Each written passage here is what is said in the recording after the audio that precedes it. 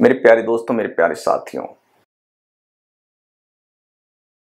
Lecture जो मैं आपके सामने प्रेजेंट करने जा रहा हूँ, उसे इन वन को नहीं देखना है, बल्कि ब्रेक कर, करके, समझ समझ करके अपने रजिस्टर में नोट डाउन करते हुए आगे बढ़ना है। प्रॉब्लम यदि मैं सॉल्व करवा रहा हूँ तो ये नहीं कि प्रॉब्लम आप देख लेंगे कि हाँ सर ने ऐसे करा दिया। नहीं, आप उस प्रॉब्लम को आगे सॉल्यूशन देखने के पहले पहले खुद आप अपना माइंड अप्लाई कीजिए कि उसे कैसे क्रैक करेंगे, उसका अप्रोच क्या होगा? तो आगे बढ़ते हैं, अब देखते हैं लेक्चर आगे। मेरे प्यारे दोस्तों, मेरे प्यारे साथियों, हम लोग यहाँ पे बात करने जा रहे हैं अब काफ़ी काफ़ी इंपॉर्टेंट चैप्टर वेव्स के ऊपर राइट और मैं अभी जो वेव्स को प्रेजेंट करने जा रहा हूँ वेब्स को इस तरह से प्रेजेंट करने जा रहा हूँ कि भाई कि इसमें मैं एक पूरा एक माइंड मैप आपको दे रहा हूँ, जिससे कि आप काफ़ी जल्दी इस चैप्टर के ऊपर एक वर्कआउट कर सकते हैं। लेकिन उसके पहले मैं ये बताना चाहता हूँ कि ये सारी बातें उनके लिए काफ़ी ज़्यादा बेनिफिशियल है, जो ऑलरेडी इस चैप्टर के ऊपर वर्कआउट कर चुके हैं। यदि आप ये सोचते हैं कि भाई कि बिल्कुल फंडामेंटल से यहाँ पे वर्किंग करी जाएगी तो ये बिल्कुल इस, ये फिर ये सेशन उनके लिए नहीं है राइट जो बिल्कुल फंडामेंटल से वेब्स के बारे में कोई उनकी जानकारी नहीं है अब फिर भी वो चाहते हैं कि वेब्स इसके थ्रू पढ़ना या इसके थ्रू समझना तो मैं उनके लिए कहूँगा कि भाई कि उसके लिए भी लेक्चर मैं बनाऊँगा, लेकिन अभी नहीं बना रहा हूँ, कुछ दिनों में वो लेक्चर अपलोड करा जाएगा, कुछ वीक्स में अपलोड किया जाएगा, जिसमें कि पूरे डिटेल में जैसे और चैप्टर को मैं डिस्कस कराऊं उसी तरह से इस चैप्टर का भी पूरा बेहतरीन वे में कंसेप्चुअल तरीके से फंडामेंटल से लेकर हाईएस्ट लेवल तक की डिस्कशन करी जाएगी। लेकिन अभी जो मैं प्रेजेंट करने जा रहा हूँ, वो उनके लिए काफ़ी ज़्यादा बेनिफिशियल है, जो कि जिन्होंने एक बार वेव्स के बारे में जान रखा है, कर रखा है। फंडामेंटली वो अवेयर है इस चैप्टर से। राइट? इसके कॉन्सेप्ट से तो उनके लिए काफ़ी काफ़ी बेनिफिशियल है तो स्टार्ट करते हैं कि भाई कि वेब से रिलेटेड जो माइंड मैप है उससे रिलेटेड कॉन्सेप्ट को डिस्कस करेंगे कॉन्सेप्ट के डिस्कशन के बाद इसके अप्लीकेशन के ऊपर ही वर्कआउट करेंगे राइट? लेकिन एक बात और मैं बताना चाहता हूँ, यदि आपने चैनल नहीं सब्सक्राइब किया तो चैनल को ज़रूर से सब्सक्राइब कीजिए। लोगों को हमारी चैनल के बारे में बताते रहिए और कमेंट्स लिखना ना भूलें। लिखिए उसमें कमेंट्स को, जो आपकी रिक्वायरमेंट है उसको लिखिए लाइक कीजिए और लोगों को इस वीडियो लेक्चर्स के बारे में, हमारे चैनल के बारे में जितना ज़्यादा हो सके उनको बताइए, ताकि उनको भी हमारे काम से बेनिफिट हो सके। राइट? अब सबसे पहली बात आती है भाई कि वेव्स क्या है? It is the basically energy. जो कि आप बात करते हो एनर्जी प्रोपगेट कर रही है। और वही energy in the form of disturbance propagate करते from one place to another place right ये पॉइंट है यहाँ पे। तो वेव्स के बारे में जब बात करते हैं, चाहे आप इलेक्ट्रोमैग्नेटिक वेव के बारे में बात करें, चाहे साउंड वेव्स के बारे में बात करें, चाहे वेव्स ऑन द स्ट्रिंग के बारे में बात करें। वेव्स ऑन द स्ट्रिंग क्या होता है? आप देखिए, बहुत छोटा सा एग्जांपल मैं आपको देता हूँ। घर में चादर होता है बेडशीट होती है। उसको आप झाड़ते हैं। ऐसे करते हैं झाड़ते हैं, उसके धूल हटाते हैं, डस्ट उसके ऊपर पड़ी रहती है, उसके लिए आप झाड़ देते हैं। तो ऐसे जो करते हैं, इस तरह से मैं देख देख रहे हैं ना ऐसे जो कर रहे हैं, ये एक तरह से फ्लो ऑफ़ वेव है। और जहाँ जहाँ से वेव जाती है डस्ट पार्टिकल्स को क्या कर देती है ऑसलेट करा देती है। और डस्ट पार्टिकल ऑसलेट होने से क्या होता है? वो डस्ट पार्टिकल्स चादर के सरफेस को छोड़ देता है और फिर वो एयर में आ जाता है। लेकिन मैंने आपको वेव के बारे में तो बता दिया कि भाई कि waves is the is nothing but is the flow of energy and momentum in the form of disturbance और ये disturbance from one place to another place क्या करती है? प्रोपोगेट करती है। जैसे वेलोसिटी ऑफ़ लाइट की बात करें, जैसे लाइट वेव की बात करें तो लाइट वेव में जो डिस्टर्बेंस फ्लो कर रही है डिस्टर्बेंस जो एक जगह से दूसरी जगह जा रही है, जो कि किस फ़िज़िकल क्वांटिटी की डिस्टर्बेंस होती है वहाँ पे electric field and magnetic field की। वो किस स्पीड से जा रही होती है? At the rate of velocity of light three into ten और एट मीटर पर सेकेंड से जा रही होती है। Right right? ये पॉइंट है यहाँ पे। तो यहाँ पे यही बात करने जा रहा हूँ मैं कि ए, वेव्स होती क्या? मैंने अभी तक फंडामेंटल आपसे बात कर लिया कि भाई वेव्स आखिर होता क्या है? अब देखिए यहाँ पे सर्टेन फ़िज़िकल क्वांटिटी है जो एनर्जी जाती है in the form of disturbance तो इसमें डिस्टर्बेंस किस चीज़ की होती है? सर्टेन फ़िज़िकल क्वांटिटी की होती है। अब सर्टेन फ़िज़िकल क्वांटिटी कौन कौन से जो डिस्टर्ब होते हैं? तो इलेक्ट्रोमैग्नेटिक में बहुत ही क्लियर है कि ये जो डिस्टर्बेंस होती है, जो सर्टेन फ़िज़िकल क्वांटिटी ऑसलेट करती है, वो सिंपल सी बात है electric field and magnetic field है, जो एक जगह से दूसरी जगह बेसिकली ऑसलेट करते हुए प्रोपगेट कर रही है।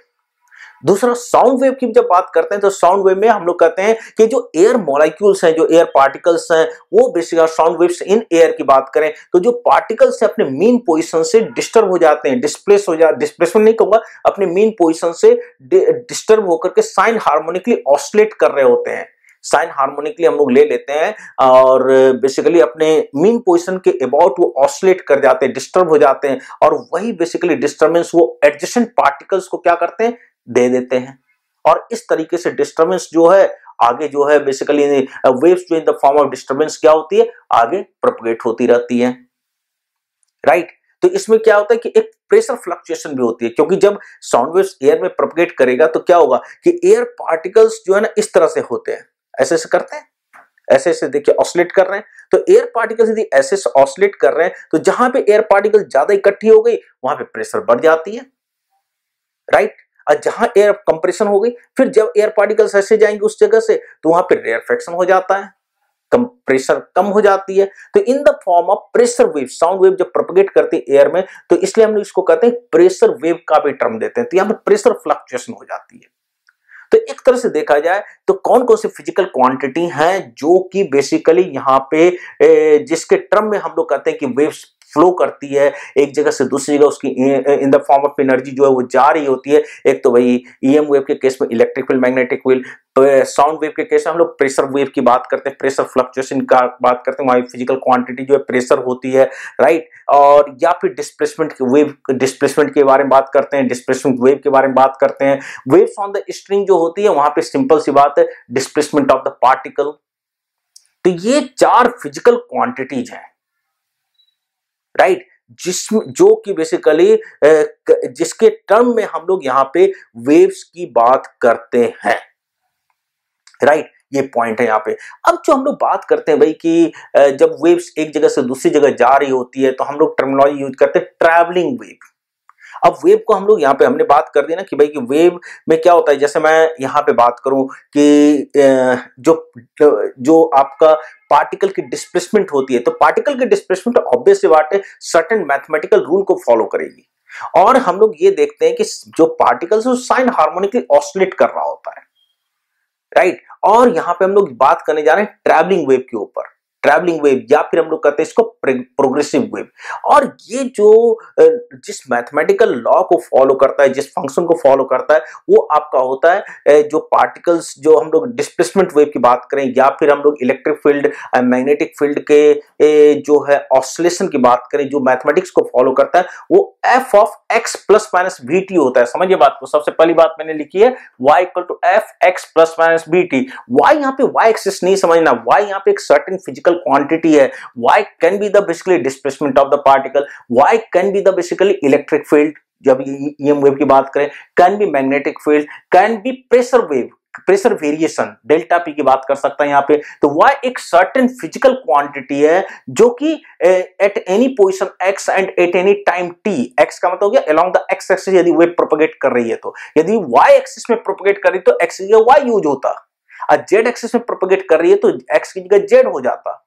Right right? मेरी बात समझ रहे हैं? तो ये पॉइंट है यहाँ पे तो y equal to F of X plus minus V T ये एक तरह से प्रोग्रेसिव वेव ये एक तरह से, ये जो देख रहे हैं ना इक्वेशन ऑफ़ प्रोग्रेसिव वेव तो ये प्रोग्रेसिव वेव को रिप्रेजेंट करता है या ट्रैवलिंग वेव को रिप्रेजेंट करता है F of X plus minus V T का जो भी फॉर्म होगा, जो भी ऐसा फ़ंक्शन होगा, जो कि x प्लस माइनस टी के फॉर्म में हो तो वो डेफिनेटली डेफिनेटली जो है प्रोग्रेसिव वेव को या ट्रैवलिंग वेव को रिप्रेजेंट कर सकता है। ये पॉइंट है यहाँ पे, x दैट मीन जिस एक्सिस के अलॉन्ग वेव प्रोपोगेट कर रही है। V कहलाता है यहाँ पे वेव वेलोसिटी तो y जो है बेसिकली उस फ़िज़िकल क्वांटिटी के बारे में बात करता है जो कि जिस जो, जो कि बेसिकली एसोसिएटेड उस वेव से। जैसे डिस्प्लेसमेंट वेव से डिस्प्लेसमेंट इलेक्ट्रोमैग्नेटिक वेव से इलेक्ट्रिक फ़ील्ड और मैग्नेटिक फ़ील्ड प्रेशर वेव का मतलब pressure variation right at any position X at and at any time T v is called the wave velocity x के साथ यदि coefficient one हो और t के साथ जो भी कोफिशिएंट होगा, वो एक तरह से रिप्रेजेंट करता है वेव वेलोसिटी वेव वेलोसिटी भी कहते हैं और हम लोग इसको फ़ेज़ वेलोसिटी भी कहते हैं। मतलब वेव कितने वेलोसिटी से चल रहा है? जैसे ईएम वेव में बात करेंगे तो ये three into ten eight metre per second होगा जी। कोई और वेव होगी, जैसे साउंड वेव इन एयर की बात करें नॉर्मल टेम्परेचर पे जो आपका रूम टेम्परेचर कहा जाए तो वो अराउंड 320 330 मीटर पर सेकंड के आसपास हो सकती है। ये पॉइंट है यहाँ पे। अब प्लस माइनस का मतलब क्या है? यदि F of X minus V होगा तो हम लोग कहेंगे wave is travelling along the positive X axis यदि F of X plus V T होगा तो wave is travelling along the negative X axis ये बहुत इंपॉर्टेंट बात मैंने आपके साथ करी है तो ये बात ध्यान में रखना है राइट नेक्स्ट पॉइंट यहाँ पे क्या है? ये फ़ंक्शन जो होना चाहिए वेल डिफाइंड फ़ंक्शन होना चाहिए। जैसे मैं कहूँगा tan of x plus V या tan of x minus V T tan theta tan theta tan of x minus V या tan of x plus V क्या रिप्रेजेंट करेगा ट्रेवलिंग वेव को? तो हम लोग कहेंगे ये रिप्रेजेंट नहीं करेगा ट्रेवलिंग वेव को। बिल्कुल नहीं रिप्रेजेंट करेगा। ये इसलिए रिप्रेजेंट नहीं करेगा क्योंकि यदि x प्लस बी या x माइनस बी किसी पर्टिकुलर x और किसी पर्टिकुलर टाइम के लिए यदि पाई बाई टू हो जाता है तो tan pi by two will not be defined क्योंकि इस पे इंफिनिटी हो जाती है तो वो सर्टेन फ़िज़िकल क्वांटिटी जो कि एसोसिएटेड उस पर्टिकुलर वेव से उस फ़िज़िकल क्वांटिटी की वैल्यू डिफाइन नहीं हो पाएगी। तो हम लोग कहेंगे कि ट्रैवलिंग वेव का इक्वेशन कभी भी टैन थीटा के फॉर्म में आप ऑब्ज़र्व नहीं कर सकते हैं। tan of X plus V या tan of x plus V के फॉर्म में नहीं ऑब्ज़र्व कर सकते। बहुत इंपॉर्टेंट बात करी गई है। अब मैं कहूँगा, क्या root over X plus V represent करेगा? तो root over X plus V T यहाँ पर या root over X minus V T chance हो सकता है पॉसिबल ये हो सकता है कि किसी एक्स और टी के लिए इसकी वैल्यू निगेटिव में आ जाए। और रूट ओवर समथिंग निगेटिव ये एक नॉन रियल वैल्यूज़ होती है। तो इसका मतलब square root of X plus minus V T भी यहाँ पे ट्रेवलिंग वेव को रिप्रेजेंट नहीं करेगा। तो पॉइंट यहाँ पे मैंने क्या कहा कि भाई ये function of X plus minus V T होना चाहिए। एक्स मतलब एक्स और टी का ऐसा फॉर्म होना चाहिए। X is the basically position T is the time जब वेव ट्रेवल करिए अलॉन्ग द एक्स एक्सिस तो यहाँ पे एक्स यूज़ कर हैं, जैसे कि पहली बात हुई थी। तो बात यहाँ पे कि फ़ंक्शन वेल डिफाइन होना बहुत ज़रूरी है रियल वैल्यूड फ़ंक्शन होना ज़रूरी है। अब फ़िज़िकल सिचुएशन को सेटिस्फाई ज़रूर से करे, तभी जाकर के वो ट्रेवलिंग वेव को रिप्रेजेंट करेगा यदि इस फॉर्म में है तो। अब जैसे मैं कहूँगा X square minus V square T square क्या रिप्रेजेंट करेगा ट्रेवलिंग वेव को? तो कहेंगे नहीं रिप्रेजेंट करेगा, क्योंकि ये फॉर्म ही नहीं है एक्स माइनस बी टी या एक्स प्लस बी टी का। राइट ये पॉइंट है यहाँ पे तो इस बात को ध्यान में रखना है कि ट्रैवलिंग वेव को कौन सा मैथमेटिकल इक्वेशन बेसिकली रिप्रेजेंट कर सकता है कौन सा मैथमेटिकल इक्वेशन नहीं रिप्रेजेंट कर सकता है। राइट right, अब ट्रैवलिंग वेव या फिर प्रोग्रेसिव वेव का जो बेस्ट होता है, हमने जैसे कुछ देर पहले बात करी कि हम लोग जनरली ले लेते हैं कि साइन हार्मोनिक तरीके से साइन हार्मोनिकली वो फ़िज़िकल क्वांटिटी जनरली बेसिकली जो है एक्स और किसी भी पोजिशन एक्स पे, किसी भी पोजिशन एक्स पे, वो certain physical quantity with time T जो है साइन हार्मोनिकली ऑसलेट करती है। तो ये है Y equal to A sine K X minus omega T ये साइन हार्मोनिक ट्रेवलिंग वेव है plane sine harmonic travelling wave है। क्योंकि वेव को हम लोग यदि बात करें नेचर ऑफ़ द सोर्स के बेसिस पे तो हम लोग कहते हैं एक होता है भाई स्पेरिकल वेव्स स्पेरिकल वेव्स वो होते हैं जिसमें कि पॉइंट सोर्स से जो वेव ऑरिजिनेट होते हैं, और उस केस में एम्पलीट्यूड डिस्टेंस के साथ चेंज होती है राइट और एम्पलीट्यूड डिस्टेंस के साथ जो चेंज होती है, वो इनवर्सली प्रोपोर्शनल टू आर होती है अब cylindrical wave front cylindrical wave front जो होती है, वो लाइन सोर्स देता है। राइट? लाइन सोर्स का मतलब हो गया कि आप समझे कि एक जो आपका ट्यूब लाइट है, वो एक लाइन सोर्स का काम कर सकता है। और उस केस में एम्पलीट्यूड जो होती है, वो inversely proportional to root R होती है। यहाँ पे नहीं लिखा हूँ, लेकिन आप नोट डाउन कर लेना ये सारे पॉइंट्स। लेकिन मैंने ये जो लिखा है ना, plane wave front plane waves के लिए लिखा है this one is the equation of progressive wave of plane sine harmonic travelling wave तो y equal to A sine k x minus omega t या y equal to A sine k x plus omega t this is the equation of the plane sine harmonic travelling wave बहुत important बात मैंने करी आपके साथ यहाँ पे right और k x minus omega t होगा तो हम लोग कहेंगे पॉजिटिव एक्स एक्सिस में ट्रेवल करेगी। और यदि k x plus omega t होता तो उस केस में ये निगेटिव एक्स एक्सिस में वो वेव ट्रेवल कर रही होती। और वाई यहाँ पे बार बार कर रहा हूँ कि वाई यहाँ पे वाई एक्सिस नहीं है। वाई इज़ द बेसिकली यदि डिस्प्लेसमेंट वेव को रिप्रेजेंट करेगा तो ये वाई डिस्प्लेसमेंट है। Displacement of the particle at the mean position x किसी पोजिशन एक्स पे विथ टाइम टी को रिप्रेजेंट कर रहा है राइट right? और यदि ये ईएम वेव होता तो वाई यहाँ पे इलेक्ट्रिक फ़ील्ड या मैग्नेटिक फ़ील्ड को रिप्रेजेंट करता। यदि प्रेशर फ्लक्चुएशन प्रेशर वेव की बात करेगा तो वाई यहाँ पे डेल्टा पी की बात करेगा। ए हो गया यहाँ पे उस फ़िज़िकल क्वांटिटी की मैक्सिमम वैल्यू क्योंकि वाई यहाँ पे डिस्प्लेसमेंट यदि जनरली मैं ले रहा हूँ तो एक तरह से ये डिस्प्लेसमेंट एम्पलीट्यूड को रिप्रेजेंट कर रहा है वाई की मैक्सिमम वैल्यू जो कि ऑब्वियस बात एक इक्वल होगी। कब? जब साइन थीटा यहाँ पे वन के इक्वल हो जाए। मेरी बात समझ रहे बात को या नहीं? राइट तो ये पॉइंट है यहाँ पे। के क्या कहलाता है? के कहलाता है यहाँ पे वेव नंबर इन पर्टिकुलर इसको कहते हैं angular wave number wave number is one by lambda wave number का मतलब क्या? Number of waves in unit length जैसे कहते हैं कि लैमडा लैमडा मीटर में एक वेव है तो वन मीटर में कितने होंगे? वन बाय लैमडा होगा। तो इसलिए कहा जाता है वन बाय लैमडा को यहाँ पे वेव नंबर और वेव नंबर जितना ज़्यादा होगा वहाँ पे एनर्जी उतनी ही ज़्यादा होगी। पॉइंट यहाँ पे ये है राइट अब के को कहते हैं यहाँ पे angular wave number in particular क्योंकि ये टू पाई से मल्टीप्लाई है तो two pi by lambda will be equal to the k and k is call the basically angular wave number omega omega is called the angular frequency it is the two pi f f is the frequency of the wave f को one by T लिख सकते हैं reciprocal of the time period तो two by by capital T भी लिख सकते हैं right v v is called the wave velocity this wave velocity nothing but it is the omega by k क्या? क्योंकि हमने बात करा था ना कि भाई कि x का कोफिशिएंट आप वन कर दीजिए। x के कोफिशिएंट वन करेंगे तो t का जो कोफिशिएंट हो जाएगा ओमेगा बाई के हो जाएगा। तो जब x का कोफिशिएंट वन हो तो t का कोफिशिएंट जो हो जाएगा omega by k that is called the wave velocity और फ़ेज़ वेलोसिटी तो v यहाँ पे वेव वेलोसिटी है या फ़ेज़ वेलोसिटी है? ओमेगा की जगह पे टू पाई एफ़ प्लेस कीजिए, k की जगह पे two pi by lambda place कीजिए। You will get v equal to f lambda frequency into wavelength तो ये एक तरह से वेव वेलोसिटी को रिप्रेजेंट कर रहा है राइट ये पॉइंट है यहाँ पे। अब आगे बात करते हैं यहाँ पे।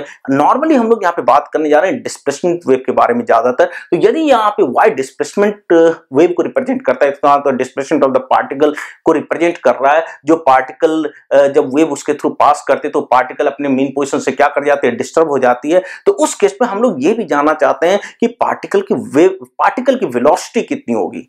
There is a difference between the particle velocity and wave velocity wave velocity का मतलब है कि वेव कितनी वेलोसिटी से एवरी वन सेकंड में कितना दूरी, कितना मीटर वेव ट्रेवल कर रहा है। अब पार्टिकल वेलोसिटी का मतलब हो गया कि एक तरह से पार्टिकल की डिस्प्लेसमेंट पर यूनिट टाइम कितनी है। तो पार्टिकल वेलोसिटी को रिप्रेजेंट करते हैं हम लोग d y by d t से। क्यों? क्योंकि वाई यहाँ पे डिस्प्लेसमेंट ऑफ़ द पार्टिकल है। और मैं आप डी वाई ना लिख करके मैं डेल वाई लिखा हूँ, क्योंकि मैं पार्शियल डेरिवेटिव ले रहा हूँ। राइट अब पार्शियल डेरिवेटिव लेते हुए मैं पर्टिकुलर पोजिशन एक्स को फिक्स कर रहा हूँ। एक पर्टिकुलर पोजीशन एक्स पे जो सिचुएटेड है पार्टिकल उसको हम लोग देख रहे हैं कि वो टाइम के साथ उसकी जो वाई है, वो किस रेट से चेंज हो रही है। तो उस केस में हम लोग del y by del t जब कर रहे हैं तो एक्स को कांस्टेंट ले रहे हैं मतलब एक पर्टिकुलर पोजीशन पे पार्टिकल को देख रहे हैं और इन दैट सिचुएशन ए तो बाहर रहेगा। डिफ्रेंसिएशन से। साइन का डिफ्रेंसिएशन क्या हो जाएगा? Cos k x minus omega t right अब फिर k x minus omega t को डिफ्रेंशिएट कीजिएगा। तो के एक्स तो कांस्टेंट क्वांटिटी है, क्योंकि एक्स हमने पर्टिकुलर ले रखा है। राइट इसलिए पार्शियल डेरिवेटिव की बात करी गई है। तो के का डिफ्रेंसिएशन क्या हो जाएगा? ज़ीरो हो जाएगा। टी का जो कोफिशिएंट ओमेगा है, वो माइनस ओमेगा बाहर हो जाएगा। तो डेट टी का टी के रिस्पेक्ट में वन हो जाएगा। तो that velocity of the particle will come out minus A omega cos k x minus omega t तो मैक्सिमम पार्टिकल की स्पीड कितनी होगी? ए ओमेगा के इक्वल होगी। अब इसी को फर्दर डिफ्रेंशिएट करेंगे तो you'll get acceleration of the particle the acceleration of the particle is del v p by del t मतलब वेलोसिटी का partial derivative with respect to t अब पार्शियल डेरिवेटिव लेते हुए फिर से वही बात आती है कि हमने एक्स को क्या कर रखा है? फिक्स कर रखा है। तो इसका दोबारा डेरिवेटिव लीजिएगा, जो आप ले ही सकते हैं that will be equal to minus A omega बाहर रहेगा। कॉस का differentiation minus sine k x minus omega t तो माइनस माइनस क्या हो जाएगा? प्लस हो जाएगा। अब फिर के एक्स माइनस ओमेगा टी से में के एक्स का डिफरेंशिएशन ज़ीरो माइनस ओमेगा बाहर आ जाएगा। तो that will it will come out minus A omega square sine k x minus omega t तो ये हो गया एक्सेशन ऑफ़ द पार्टिकल मेरी बात समझ रहे हैं, नहीं समझ रहे तो रिवाइंड कीजिए। अब फिर से सुनिए मेरी बात को। आप तो बार बार रिवाइंड कर सकते हैं, कोई दिक्कत की बात रही है। राइट अब बात आती है यहाँ पे del y by del x मैं निकालने जा रहा हूँ। क्यों निकालने जा रहा हूँ? ताकि मैं रिलेट कर सकता हूँ पार्टिकल की वेलोसिटी का वेव की वेलोसिटी को। तो del y by del x यदि मैं निकालना जा रहा हूँ तो फिर यहाँ पे देखिए, यहाँ पे अब क्या हुआ कि del y by del x का मतलब है कि टी को मैंने एक पर्टिकुलर टाइम पे निकाल रहा हूँ। पर्टिकुलर टाइम पे वाई का एक्स के रिस्पेक्ट में डेरिवेटिव इसलिए मैंने क्या किया कि पार्शियल डेरिवेटिव लिए रखा है। तो del y by del x जब करेंगे तो ए बाहर आएगा। तो ए बाहर आ गया जी। साइन का differentiation cos k x minus omega t फिर k x minus omega t को डिफ्रेंशिएट कीजिएगा तो के बाहर होगा और एक्स का एक्स के रिस्पेक्ट डिफ्रेंशिएशन वन और ओमेगा टी चूँकि मैं पर्टिकुलर ले रखा हूँ टाइम टी तो ओमेगा टी का डिफ्रेंशिएशन सिंपली ज़ीरो तो इसलिए हो गया k A cos k x minus omega t right अब ध्यान से सुनिए बात को। अब मैंने क्या किया? वेलोसिटी ऑफ़ द पार्टिकल और वे वेलोसिटी को रिलेट करने जा रहा हूँ। तो रिलेट जब करेंगे तो v p will be equal to minus of omega by k del y by del x आ जाएगा। क्या करना है भाई? वीपी और del y by del x को डिवाइड कर दीजिए, उससे आपका माइनस ओमेगा बाई के आ जाएगा। इस तरह से पार्टिकल वेलोसिटी जो वेव वेलोसिटी से रिलेटेड है it is very very important relation बहुत दफे पूछा गया है कि velocity of the particle will be equal to minus of wave velocity into del y by del x बहुत इंपॉर्टेंट एक्सप्रेशन है ये। राइट तो अब तक हमने यहाँ पे डिस्प्लेसमेंट वेव के बारे में बात कर लिया है, और भी टाइप्स और बेसिक हमने वेव्स के बारे में बात करा। फिर इसके बाद उसी से रिलेटेड सारी डिस्कशन हो गई है। अब आगे बढ़ते हैं हम लोग। अब वेव्स यहाँ पे देखेंगे, एक तो बेसिकली ट्रांसवर्स वेव होता है, और एक होता है आपका लॉन्गिट्यूडनल वेव क्यों होता है भाई? ट्रांसवर्स वेव में जो होता है वेव जिस डायरेक्शन में प्रोपगेट करती है, और जो डिस्टर्बेंस होती है, वो परपेंडिकुलर होती है। राइट मतलब जैसे आप वेव्स ऑन द स्ट्रिंग देखें। वेव्स ऑन द स्ट्रिंग जिधर स्ट्रिंग पे जब वेव देखेंगे तो जिधर स्ट्रिंग के लॉन्ग वेव प्रोपगेट करेगी लेकिन स्ट्रिंग का पार्टिकल उसके परपेंडिकुलरली ऑसिलेट कर रहा होता है। तो उसको हम लोग कहते हैं ट्रांसवर्स वेव लॉन्गिट्यूडनल वेव में जो होगी, जो डिस्टर्बेंस होगी along the direction of the propagation of the wave होगा।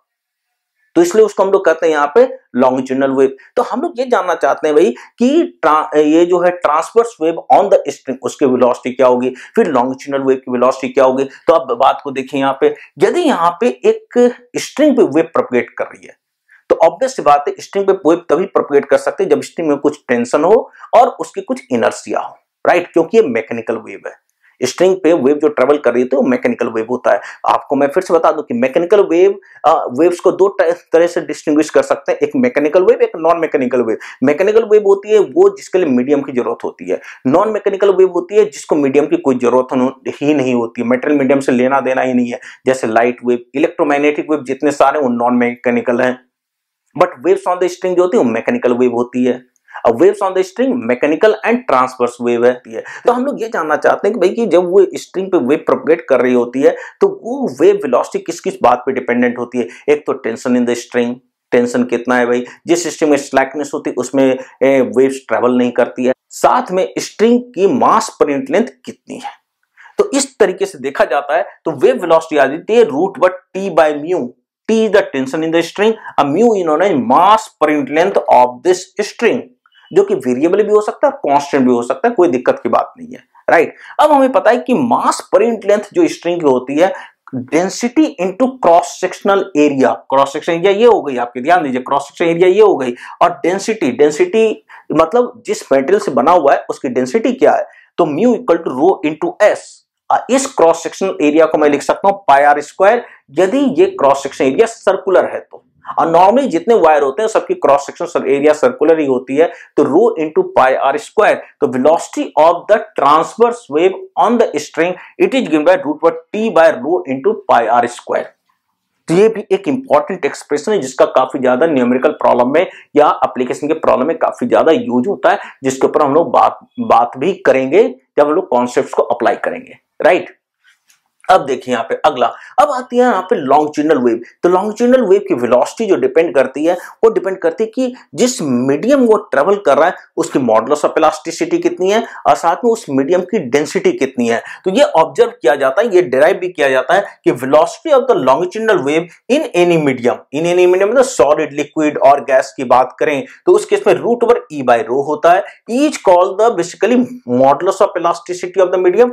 and rho is the density of the medium medium in which the wave is travelling यदि यहाँ पे सॉलिड मीडियम होती है तो उस केस में यहाँ पे रूट पर y बाय रो होता है। Y is called the Young's modulus of elasticity of that medium and rho is the density of the medium. लेकिन यदि वहीं पे longitudinal wave किसी फ्लूइड में ट्रेवल कर रही होती है तो ई जो है मॉडुलस ऑफ़ इलास्टिसिटी हो जाती है बल्क मॉडुलस ऑफ़ इलास्टिसिटी अब बल्क मॉडुलस ऑफ़ इलास्टिसिटी होती है minus V d P by d V minus V d P by d V bulk modulus of plasticity ये होती है राइट अब बात यहाँ पे आती है कि भाई कि यदि साउंड वेव एयर में ट्रेवल करे लॉन्गिट्यूडनल वेव एयर में ट्रेवल करे, जिसको हम लोग प्रेशर वेव भी कहते हैं, जब साउंड वेव एयर में ट्रेवल कर रही होती है तो उसकी वेव वेलोसिटी कितनी होती है? तो वेव वेलोसिटी इसमें क्या है भाई कि जब साउंड वेव मीडियम एयर में ट्रेवल कर रही होती है तो एयर में basically certain type of thermodynamic process हो जाता है। अब इसमें न्यूटन साहब ने यह कहा था कि भाई ये प्रोसेस बेसिकली आइसोथर्मल है। और जब आइसोथर्मल प्रोसेस लेकर के बल्क मॉडल्स ऑफ़ इलास्टिसिटी निकालते हैं तो bulk modulus of elasticity for isothermal process will be simply pressure of the gas pressure of the air pressure of the gas right तो उस केस में velocity of the sound wave in that situation it is given root by P by rho P is the pressure and rho is the density लेकिन ये formula गलत निकला। क्योंकि इसके through ये थियोरेटिकल रिज़ल्ट जो है, इसके थ्रू जो around velocity of sound air में आती है, वो मेरे ख्याल से 280 मीटर पर सेकंड के आसपास आती है नॉर्मल टेम्परेचर पे। Right right? तो न्यूटन का फॉर्मूला गलत निकला। न्यूटन के फॉर्मूले को लाप्लास साहब ने करेक्ट करा इसको कहते हैं लाप्लास करेक्शन लाप्लास साहब ने ये कहा कि भाई कि एडियाबेटिक प्रोसेस के अंडर वहाँ पे प्रेशर की फ्लक्चुएशन होती है प्रेशर की वेरिएशन होती है। जब साउंड वेव एयर में या गैस में ट्रेवल कर रही होती है और जब ये साउंड वेव गैस में ट्रेवल कर रही होती है तो उसके बल्क मॉडल ऑफ़ प्लास्टिसिटी जो होती है गामा पी के इक्वल होता है। Gamma is the adiabatic exponent of the gas gamma P के इक्वल होता है। Gamma into P P is the pressure and gamma is the adiabatic exponent of the gas जो कि डिग्री ऑफ़ फ्रीडम से related होती है। Gamma equal to one plus two by F इसके बारे में पूरी डिटेल डिस्कशन करी गई है हीट एंड थर्मोडाइनमिक्स के चैप्टर में। जाके देखिए उसे।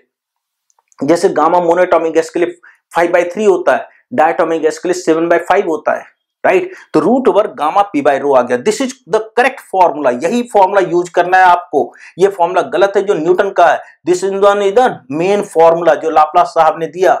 इसलिए इसको कहते हैं लाप्लास करेक्शन राइट तो रूट वर्ग गामा पी बाय रो और चूँकि हमें पता है कि आइडियल गैस के केस में P by rho R T by M के इक्वल होता है R is the gas constant T is the temperature absolute temperature M is the molar mass of the gas इस तरह से velocity of sound in gases medium it is given by root over gamma R T by M it is given by root over gamma R T by M समझने वाली बात है root over gamma R T by M gamma is called the adiabatic exponent of the gas R is called the gas constant, T is called the absolute temperature, M is called the molar mass of the gas. Right right? मेरी बात समझ रहे हैं? Root word gamma R T by M यही main formula है। अब ध्यान सुनिए बात को। यदि टेम्परेचर कांस्टेंट रहे तो प्रेशर के चेंज करने के बावजूद भी वेलोसिटी ऑफ़ साउंड चेंज नहीं करती है जी। क्यों? क्योंकि यहाँ पे पी टेम्परेचर कांस्टेंट रहेगा तो प्रेशर चेंज करेगा तो डेंसिटी भी चेंज कर जाएगा, जिससे कि पी बाय रो का रेशियो कांस्टेंट रह जाएगा। तो प्रेशर के प्रेशर फोर टाइम्स हो जाएगी टेम्परेचर वही है तो वेलोसिटी ऑफ़ साउंड चेवर चेंज ये बात ध्यान में रखना। वेलोसिटी ऑफ़ साउंड केवल और केवल टेम्परेचर के गैस के टेम्परेचर के चेंज करने की वजह से ही चेंज करेगी। और ये ध्यान रखना टी यहाँ पे अंडर रूट के अंदर है। ध्यान रखना इस बात को राइट तो ये हो गया आपका velocity of the longitudinal wave के बारे में बात आती है। अब बात आती है कि जैसे शुरुआत में मैंने बात करा कि भाई कि जब वेव एक जगह से दूसरी जगह प्रोपोगेट कर रहा होता है तो एक तरह से अपने साथ एनर्जी लेके चलता है। तो energy carried by the wave क्या होगा? एनर्जी का मतलब हो गया, एक तरह से energy flowing per unit area per unit time it's called the intensity जैसे कमरे में, एक कमरे में आप चार बल्ब ऑन कर देते हैं तो उसके इसमें इंटेंसिटी कमरे में काफ़ी ज़्यादा बढ़ जाती है। बढ़ती ही नहीं, बढ़ती, बताइए। इसका मतलब यहीं पे एक बल्ब केवल ऑन रखता है तो वहाँ पे एक कमरे में इंटेंसिटी कम होती है।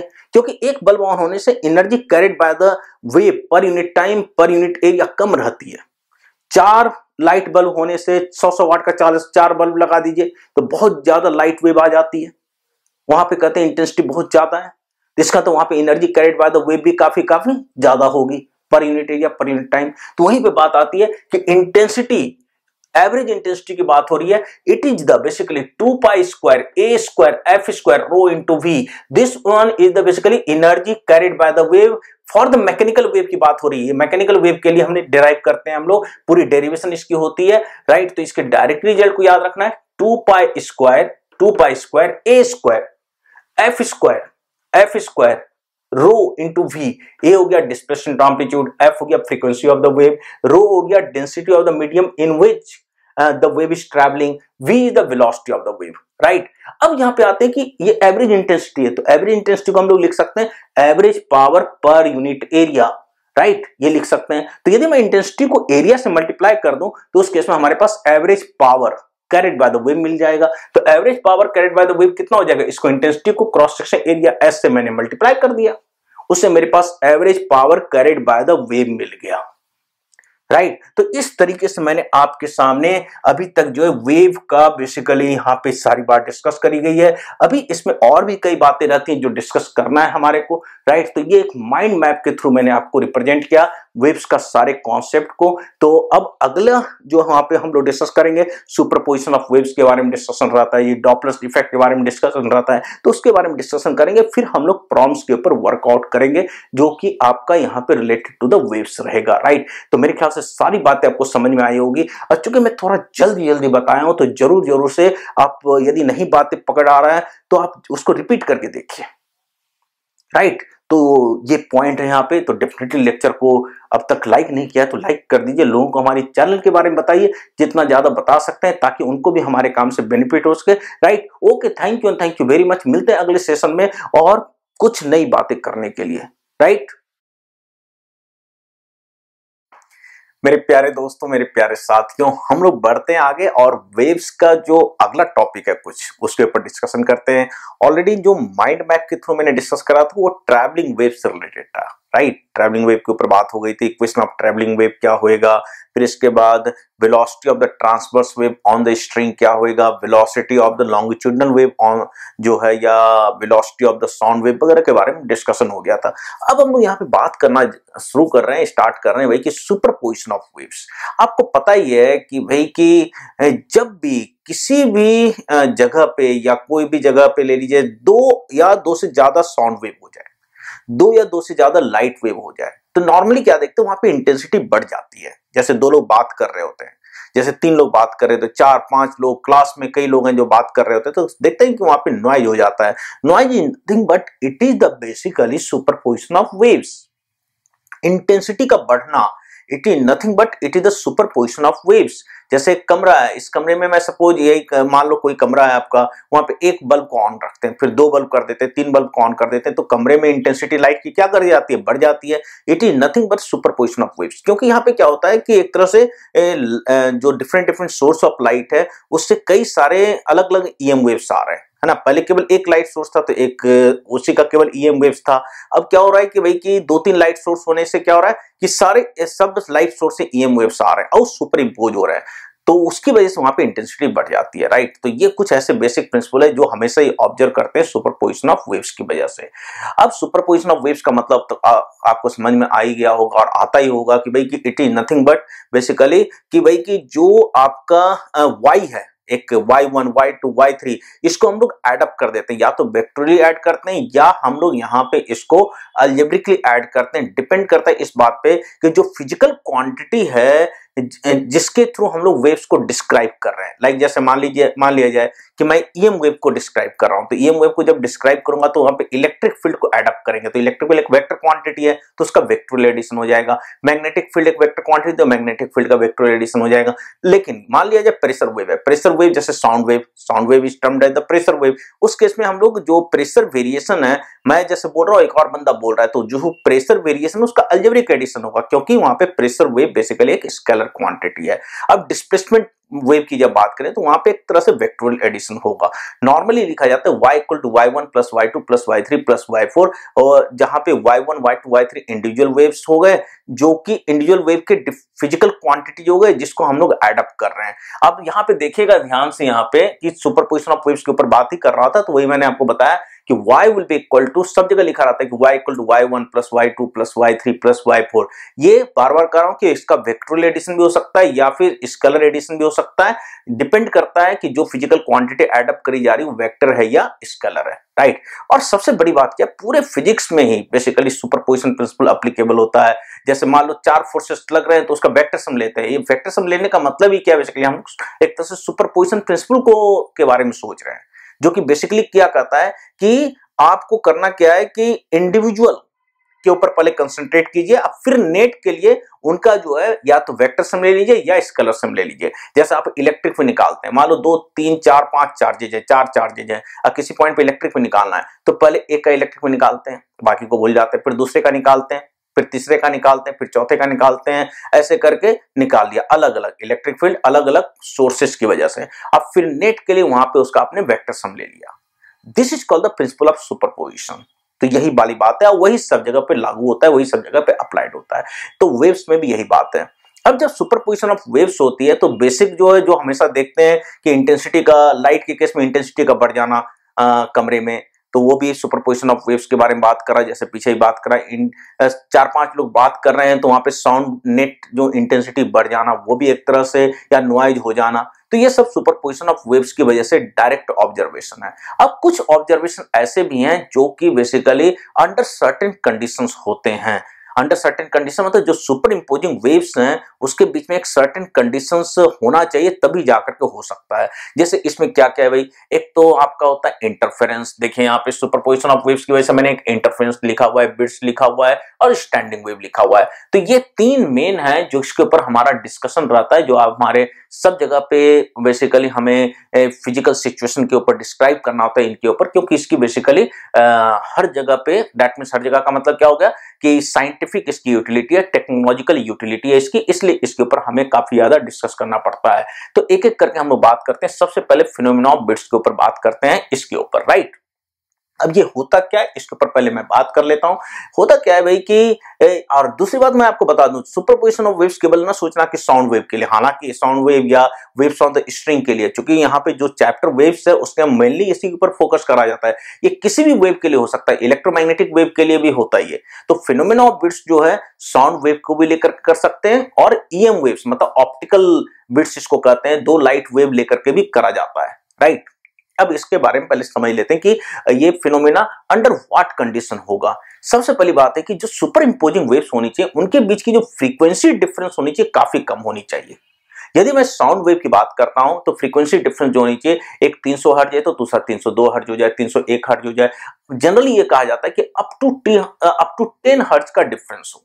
राइट साउंड वेव के केस में। और ये इन जनरल कह सकते हैं हम लोग कि जो वेव की फ्रीक्वेंसी है, उसके रिस्पेक्ट में जो एक दो परसेंट का डिफरेंस होना चाहिए। जैसे 300 हंड्रेड हर्ज है तो एक परसेंट हो गया थ्री हर्ज मतलब अप टू थ्री परसेंट तक लिया जा सकता है।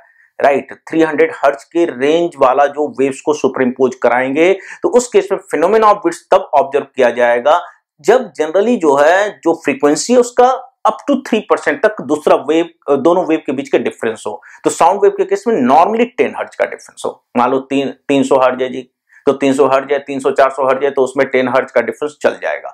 लेकिन मान लो कि आपका कि ए, दो लाइट वेव को लेके कराया जाए जिसको हम लोग कहते हैं ऑप्टिकल बिट्स तो वहाँ पे क्या होता है फ्रीक्वेंसी डिफरेंस आपको लगेगा बहुत बड़ा है लेकिन लाइट वेव की फ्रीक्वेंसी का रेंज होता है टेन ऑफ़ फिफ्टीन हर्ज होता है। और टेन ऑफ़ फिफ्टीन हर्ज के रिस्पेक्ट में देखा जाए तो डिफरेंस बड़ा दिखेगा आपको।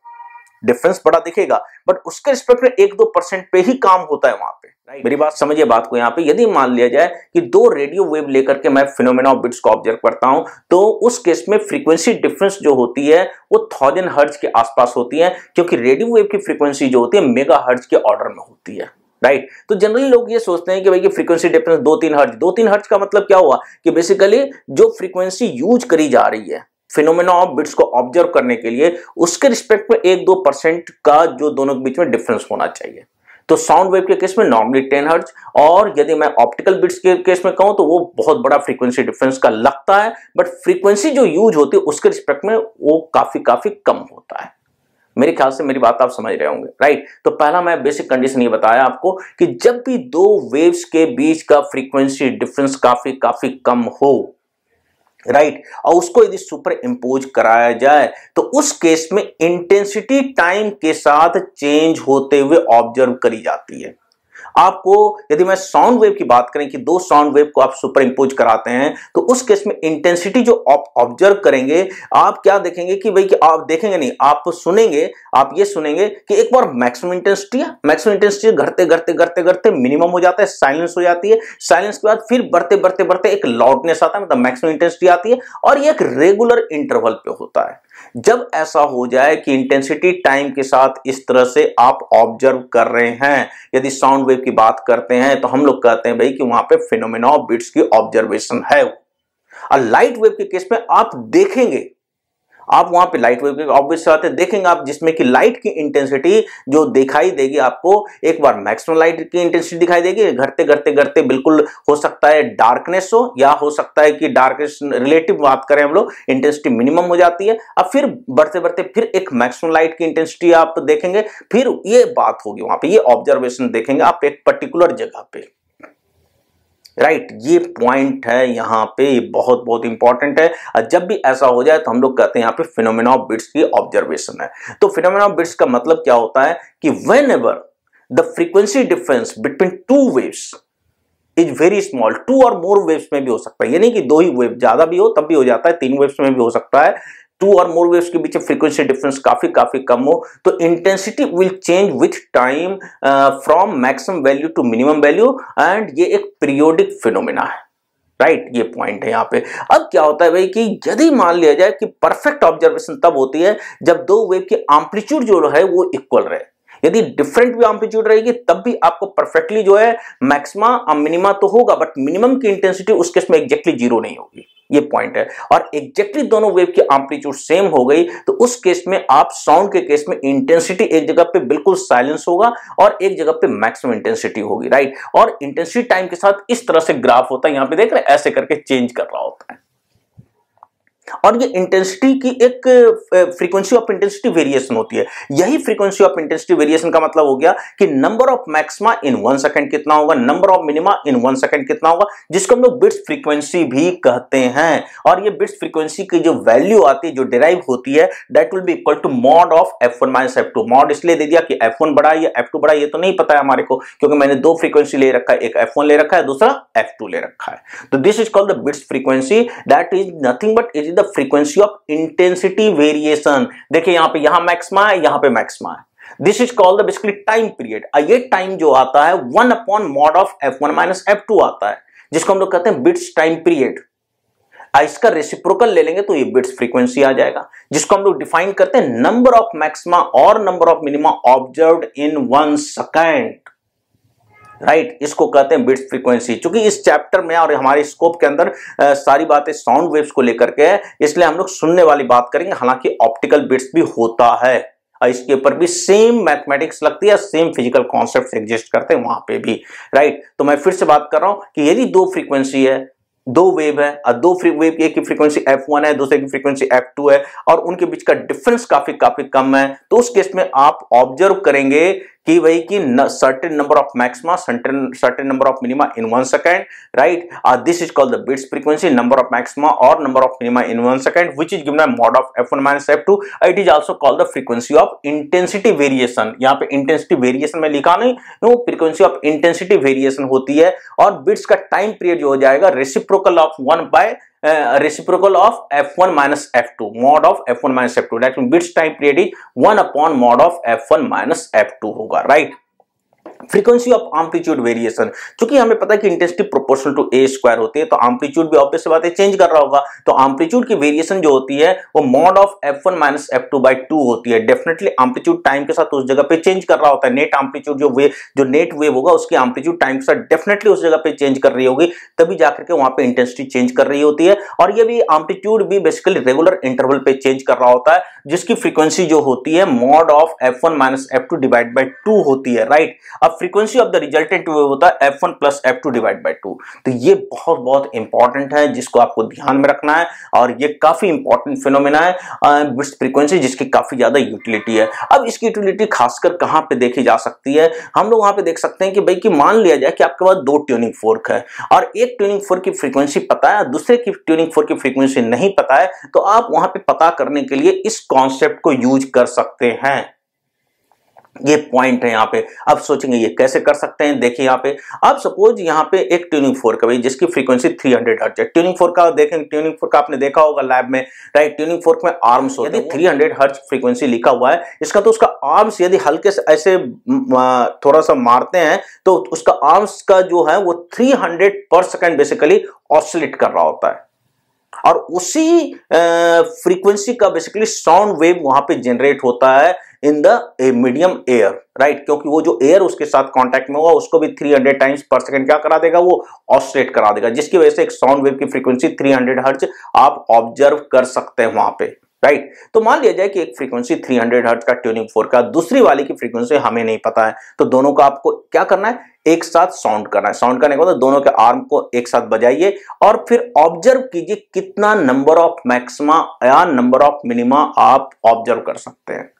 राइट? तो एक की फ्रीक्वेंसी मान लिया जाए 300 हंड्रेड जी, जो नोन है, दूसरे की नहीं पता है। दोनों को आपने साउंड किया और आपने ये ऑब्ज़र्व किया कि दो बार मैक्सिमा सुनाई दे रहा है एक सेकंड में। आप ये कैसे करेंगे? एक स्टॉप वॉच ले लीजिएगा और एक मिनट में काउंट कीजिएगा कितनी बार मैक्सिमा हुआ या कितनी बार मिनिमा हुआ। मतलब ऑब्जर्वेशन देखेंगे सुनाई देगा ना आपको कि भाई कि कितनी बार सबसे ज़्यादा लाउडनेस हो रही है। तो पता चला कि एक मिनट में 120 टाइम्स आपको सबसे ज़्यादा साउंड सुनाई दे रहा है, सबसे इंटेंस साउंड और या फिर 120 टाइम्स जो है बिल्कुल ऑलमोस्ट साइलेंस है।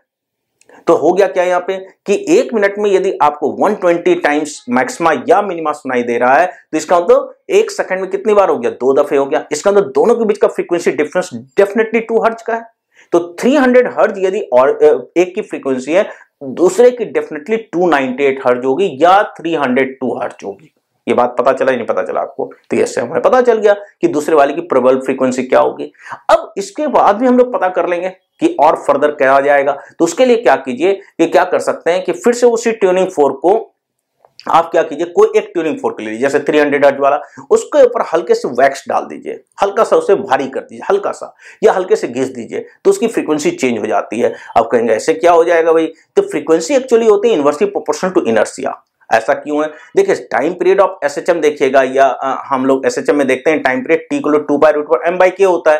तो एक तरह से time period proportional to inertia है या तो हम लोग कहेंगे frequency inversely proportional to inertia यही सेम बात तो वहाँ पे भी लागू होगी। तो frequency of the tuning fork is inversely proportional to inertia तो इनर्सिया के बढ़ने से बढ़ने से मतलब वैक्स उसमें डाल दिया आपने तो वैक्स डालने से उसकी इनर्सिया बढ़ गई तो फ्रीक्वेंसी घट जाएगी।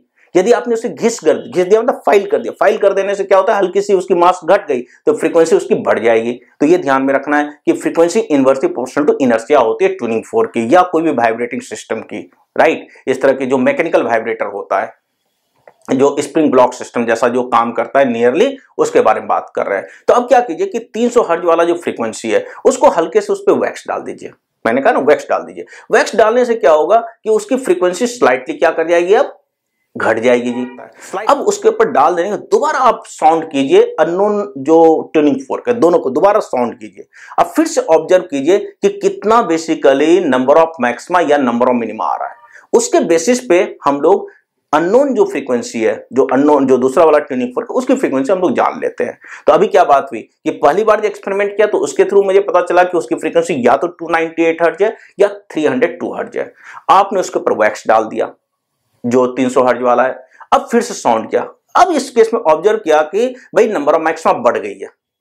नंबर ऑफ़ मैक्सिमा क्या कर गई है? बढ़ गई है। अब नंबर ऑफ़ मैक्सिमा बढ़ गई है तो ये बात पक्का पक्का होगा कि जो अननोन फ्रीक्वेंसी होगी 302 हर्ज होगी। अब ऐसा क्यों? देखिए, सुनिए बात को। 300 हर्ज, उसके ऊपर आपने वैक्स डाला। वैक्स डालने से उसकी फ्रीक्वेंसी स्लाइटली घट गई होगी। 299 पहुँच गई होगी। यदि 299 हर्ज पहुँच गई है और मैं ओरिजिनल जो वो अननोन फ्रीक्वेंसी उसको 302 हर्ज मानूँगा, तभी तो फ्रीक्वेंसी डिफरेंस बढ़ेगा। तभी तो नंबर ऑफ़ मैक्सिमा बढ़ेगा। यदि मान लिया जाए कि जो अननोन फ्रीक्वेंसी है, जिस ट्यूनिंग फोर की फ्रीक्वेंसी निकालनी है, उसका मान लिया जाए 298 ले लेते हैं। 298 हर्ज लेंगे, और जो 300 हर्ज वाला उसमें वैक्स डाला तो उसकी फ्रीक्वेंसी क्या करेगी? घट गई है। तो 299 पे पहुँच गई होगी, या 298 पे पहुँच गई हो या 297 पे पहुँच गई हो तो उस केस में नंबर ऑफ़ मैक्सिमा जो हो जाएगा, उल्टा घट जाएगा। तो लॉजिक समझिए बात को। पूरा मैं प्रॉब्लम लॉजिक के थ्रू बताया हूँ आपको। और ये प्रॉब्लम ऐसे काफ़ी जगह आते रहते हैं। तो इस तरीके से जो दूसरा जो फ्रीक्वेंसी होगा 302 हर्ज हो गया राइट? तो हम लोगों ने समझ लिया कि भाई कि 300 302 हर्ज उसकी फ्रीक्वेंसी है। तो फिनोमेना ऑफ़ बिट्स का वन ऑफ़ द एप्लीकेशन ये है कि जो फ्रीक्वेंसी हमें नहीं पता है, उसके थ्रू हम लोग पता कर सकते हैं। जैसे दो वाइब्रेटिंग आप वो ले लीजिए वायर ले लीजिए सिटार गिटार ले लीजिए। तो उस, इस, क्या एक की एक की फ्रीक्वेंसी पता है, दूसरे की फ्रीक्वेंसी नहीं पता है तो using this experiment using this phenomena हम लोग पता कर सकते हैं उसके बारे में। तो मेरे ख्याल से आपको सारी बातें समझ में आ गई होगी कि क्या हो रही है यहाँ पे बात राइट तो ये पॉइंट है यहाँ पे। अब अगला जो सुपर पोजिशन ऑफ़ वेव्स की वजह से जो प्रिंसिपल है यहाँ पे, वो बेसिकली यहाँ पे हम लोग बात करते हैं स्टैंडिंग वेव्स और स्टेशनरी वेव जो कि हमने लिख रखा है यहाँ पे स्टैंडिंग वेव्स और स्टेशनरी वेव अब स्टैंडिंग वेव्स और स्टेशनरी वेव का मतलब समझ लेते हैं। स्टैंडिंग वेव का मतलब एक तरह से वेव वेव जो स्टैंड कर गई है। वेव स्टैंड करने एनर्जी स्टैंड कर गई एनर्जी कन्फाइन हो गई एक जगह पे। उसके बियॉन्ड नहीं जा रही। उसी के उसी के अंदर जो एनर्जी का इधर से उधर एक्सचेंज हो रहा है। बट उसके बियॉन्ड नहीं जा रही। उस बाउंड्री के बाहर नहीं जा रही that's why the name is given as the standing wave या स्टेशनरी वेव कहते हैं। अब ये कब होता है जी? तो हम लोग क्या कर सकते हैं यहाँ पे कि जब दो वेव्स ले लीजिए। दोनों वेव की एम्पलीट्यूड सेम हो तो बहुत अच्छी बात है। ये बहुत अच्छी बात है। नहीं भी एम्पलीट्यूड सेम रहा, तब भी ये फिनोमेना ऑब्ज़र्व कर सकते हैं। तो मैं यहाँ पे एम्पलीट्यूड सेम ले लेता हूँ। दोनों की ए ले लेता हूँ। दोनों की वेव नंबर सेम होनी चाहिए। मतलब वेवलेंथ सेम होनी चाहिए। फ्रीक्वेंसी भी सेम होनी चाहिए। But they will travel in opposite direction right अब ये ऐसा कैसे होता है भाई? तो ऐसा होता है कि एक इंसिडेंट वेव हो गया, दूसरा रिफ्लेक्टेड वेव हो गया। उस केस में ये बिल्कुल हम लोग ऐसा तरह का वेव जनरेट कर देते हैं कि स्ट्रिंग ले लिया जी, जैसे यहाँ पे देख रहे हैं, ये स्ट्रिंग है, इसके ऊपर एक इंसिडेंट वेव जनरेट कर दिया, एक ट्रेवलिंग वेव डाल दिया, दूसरे एंड पे गया, वो रिफ्लेक्ट हुआ। तो इंसिडेंट वेव और रिफ्लेक्टेड वेव जब सुपर इम्पोज होता है, उस केस में ये बातें वहाँ पे जस्टिफाई हो जाती है सेटिस्फाई हो जाती है कि दोनों के एम्पलीट्यूड जो है वैसे प्रैक्टिकली देखा जाए तो एम्पलीट्यूड इक्वल नहीं होती है। ये मैं आइडियल सिचुएशन बता रहा हूँ कि एम्पलीट्यूड यहाँ पे इक्वल हो जाए राइट ना भी हो तब भी ये फिनोमिना ऑब्ज़र्व होती है।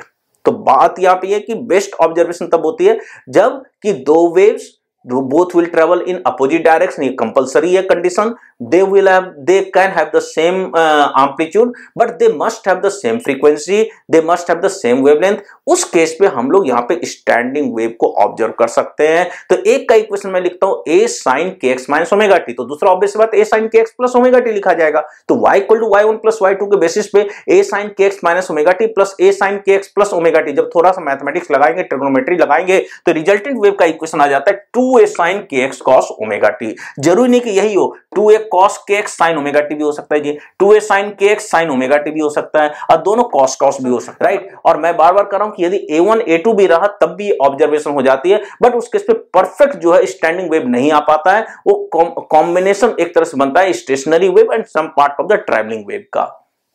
मैं यहाँ पे आइडियलाइज सिचुएशन बात कर रहा हूँ, जबकि दोनों वेव के एम्पलीट्यूड सेम रहे राइट अब इसको कहते हैं amplitude of the resultant wave two A sine K X को कहा जाता है amplitude of the resultant wave अब क्या होता है कि भाई कि कुछ ऐसे पॉइंट्स यहाँ पे आ जाते हैं जो परमानेंटली रेस्ट में रहते हैं। कुछ ऐसे पॉइंट्स होते हैं, जब ये फिनोमिना हो रहा होता है, तभी तो जाकर के एनर्जी वहीं उसके बाहर नहीं जा पाएगी। Right right? तो परमानेंटली यदि रेस्ट में है परमानेंटली वहाँ पे कुछ हो ही नहीं रहा है, कुछ फ़िज़िकल क्वांटिटी कोई वेरिएशन ही नहीं हो रही है तो उसके बियॉन्ड एनर्जी जाएगी ही नहीं।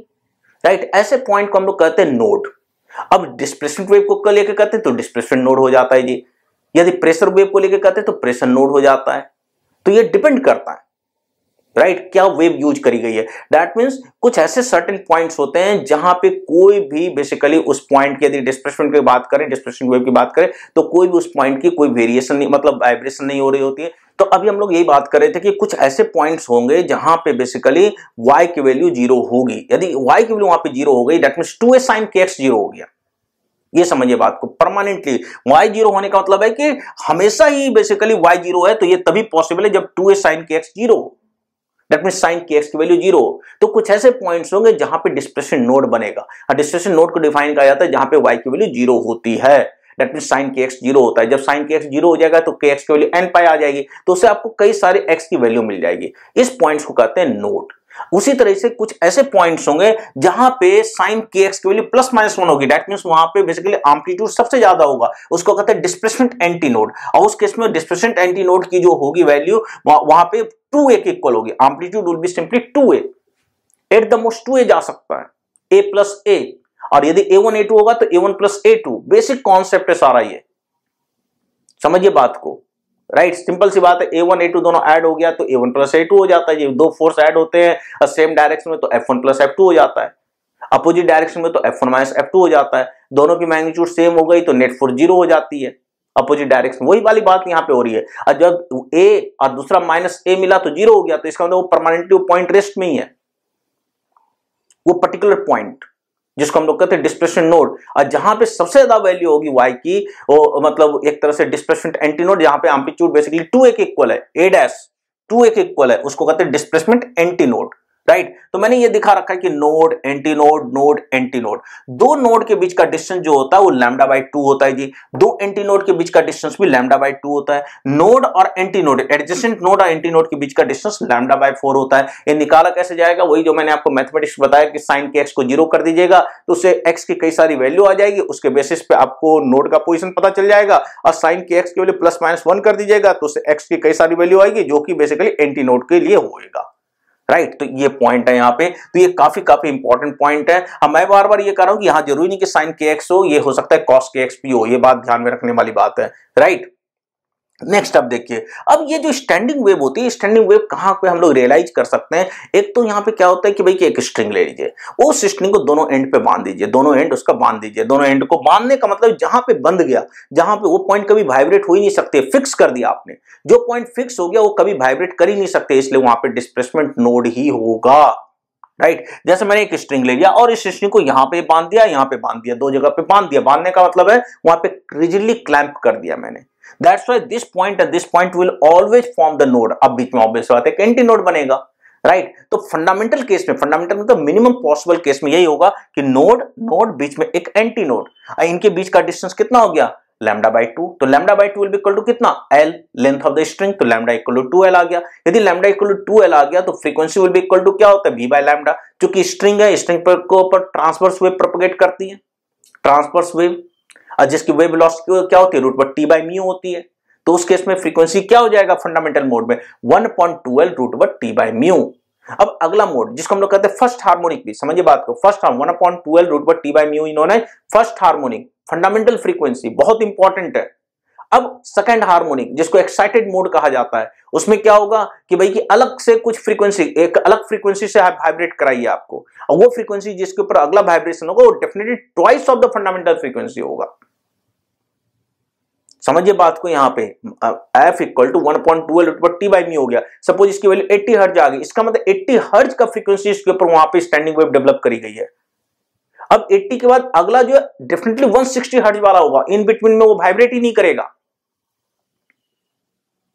टू अपॉन ट्वेल्व रूट पर बाई म्यू उस केस में क्या होगा कि यहाँ पे एक नोड और बढ़ जाएगी। और दो लूप बन जाते हैं इसके। यहाँ पे एक सिंगल लूप मैं दिखाया हूँ। कब? जब बेसिकली फंडामेंटल मोड हो। Fundamental frequency of first harmonic हो सेकेंड हार्मोनिक में एक नोड और बढ़ जाएगी तो दो लूप बन जाएगा। थर्ड हार्मोनिक में तीन लूप हो जाएगी। इस तरीके से होती है। तो हमने लिखा हुआ यहाँ पे F equal to P upon twelve T by mu ये पीएथ हार्मोनिक के लिए। Pth harmonic be equal to one two three four five six seven eight nine ऐसे चलेगा। तो first harmonic one upon twelve root T by mu where t is the tension in the string, mu known as mass per जो कि density into cross section area के equal होता है। Right L is the length of the string तो fundamental frequency one point two L root T by mu जिसको हम लोग first harmonic कहते हैं। अगला जो है इसका ट्वाइस फिर थ्राइस फिर फोर टाइम्स फिर फाइव टाइम्स ये सारी फ्रीक्वेंसी यहाँ पे डेवलप होंगे जब स्ट्रिंग को आ, के दोनों एंड को आप क्लाइंप कर देते रिजिडली और इस चीज़ को आप रियलाइज़ कर सकते हैं यहाँ पे सोनोमीटर वायर एक्सपेरिमेंट होता है, जिसके थ्रू आप क्लास इलेवेंथ में ये एक्सपेरिमेंट कराई जाती है, जहाँ पे ये पूरे के पूरे फिनोमिना को आप प्रैक्टिकली रियलाइज़ कर सकते हैं। राइट बहुत इंपॉर्टेंट है, ये ध्यान में रखना है। अगला देखिए यहाँ पे, अब अगला क्या होता है? ऑर्गन पाइप होती है जी। ऑर्गन पाइप फ्लूट जैसे मतलब बांसुरी one of the example organ pipe का। Right right? तो ऑर्गन पाइप में क्या होता है? वहाँ पे जो उसके अंदर और पाइप के अंदर जो एयर होता है या गैस होता है, उसके अंदर हम लोग यहाँ पे लॉन्गचुनल स्टैंडिंग वेव डेवलप करते हैं। अब दो तरह के ऑर्गन पाइप होते हैं। एक ऑर्गन पाइप होता है ओपन ऑर्गन पाइप और दूसरा होता है यहाँ पे close organ pipe open organ pipe में क्या होगा? दोनों एंड ओपन होएगा जी। और जब दोनों एंड ओपन होएगा तो it open end displacement antinode बनता है। अब प्रेशर नोड बनता है।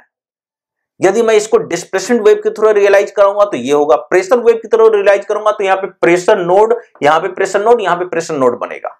Right right? यहाँ पे भी वही होता है incident wave reflected wave superimpose होती है, और उसके बाद basically longitudinal waves longitudinal standing wave की फॉर्मेशन होती है इन इन द एयर और in the gas content in the pipe right तो इसकी जो फ्रीक्वेंसी होती है वी अपॉन ट्वेल्व होती है L is the length of the tube fundamental frequency है फ़र्स्ट हार्मोनिक ये कैसे आएगा? देखिए, ये सबसे मिनिमम पॉसिबल केस है, जिसमें कि ओपन एंड पे डिस्प्लेसमेंट एंटी नोड यहाँ पे भी डिस्प्लेसमेंट एंटी नोड बीच में नोड अब क्या हो गया? Length of the tube L के इक्वल है तो L will be equal to lambda by two lambda equal to two L आ गया। तो फ्रीक्वेंसी बी बाय लैम्डा होती तो बी बाई टू एल आ गया यहाँ पे। V is the velocity of sound which is given by root over gamma rt by m. V is the velocity of sound which is equal to the velocity of sound in the gas contained in the pipe which is given by root over gamma rt by m gamma is the called the adiabatic exponent r is called the basically gas constant t is called the temperature जो अभी हमने discuss भी करा है पीछे अभी m is called the molar mass ये वाली बात है अगले में क्या होगा अगले मोड में एक और बेसिकली यहाँ नोड दिख रहा है एक और नोड बढ़ जाएगा बीच में तो उसकी वजह से क्या होगा कि फ्रीक्वेंसी टू बी बाई आ जाएगी, फिर थ्री बी बाई आएगी, फिर फोर बी बाई आएगी, ऐसे करके आएगी इसका अंदर इसमें फ़र्स्ट सेकंड थर्ड फोर्थ सारे तरह के हार्मोनिक यहाँ पे ओपन पाइप में एग्जिस्ट करते हैं। बहुत इंपॉर्टेंट पॉइंट है यहाँ पे। अब यहाँ पे क्या है? यहाँ पे वही कि मान लिया जाए V by twelve eighty hertz जा गया, मान लिया जाए तो अगला फ्रीक्वेंसी डेफिनेटली उसके अंदर जो है बेसिकली 160 सिक्सटी हर्ज का ही बनेगा। Same length of the tube लेते हुए। ये समझिए बात को। फिर अगला 80 का, थ्री टाइम्स 80 का, फोर टाइम्स बनेगा।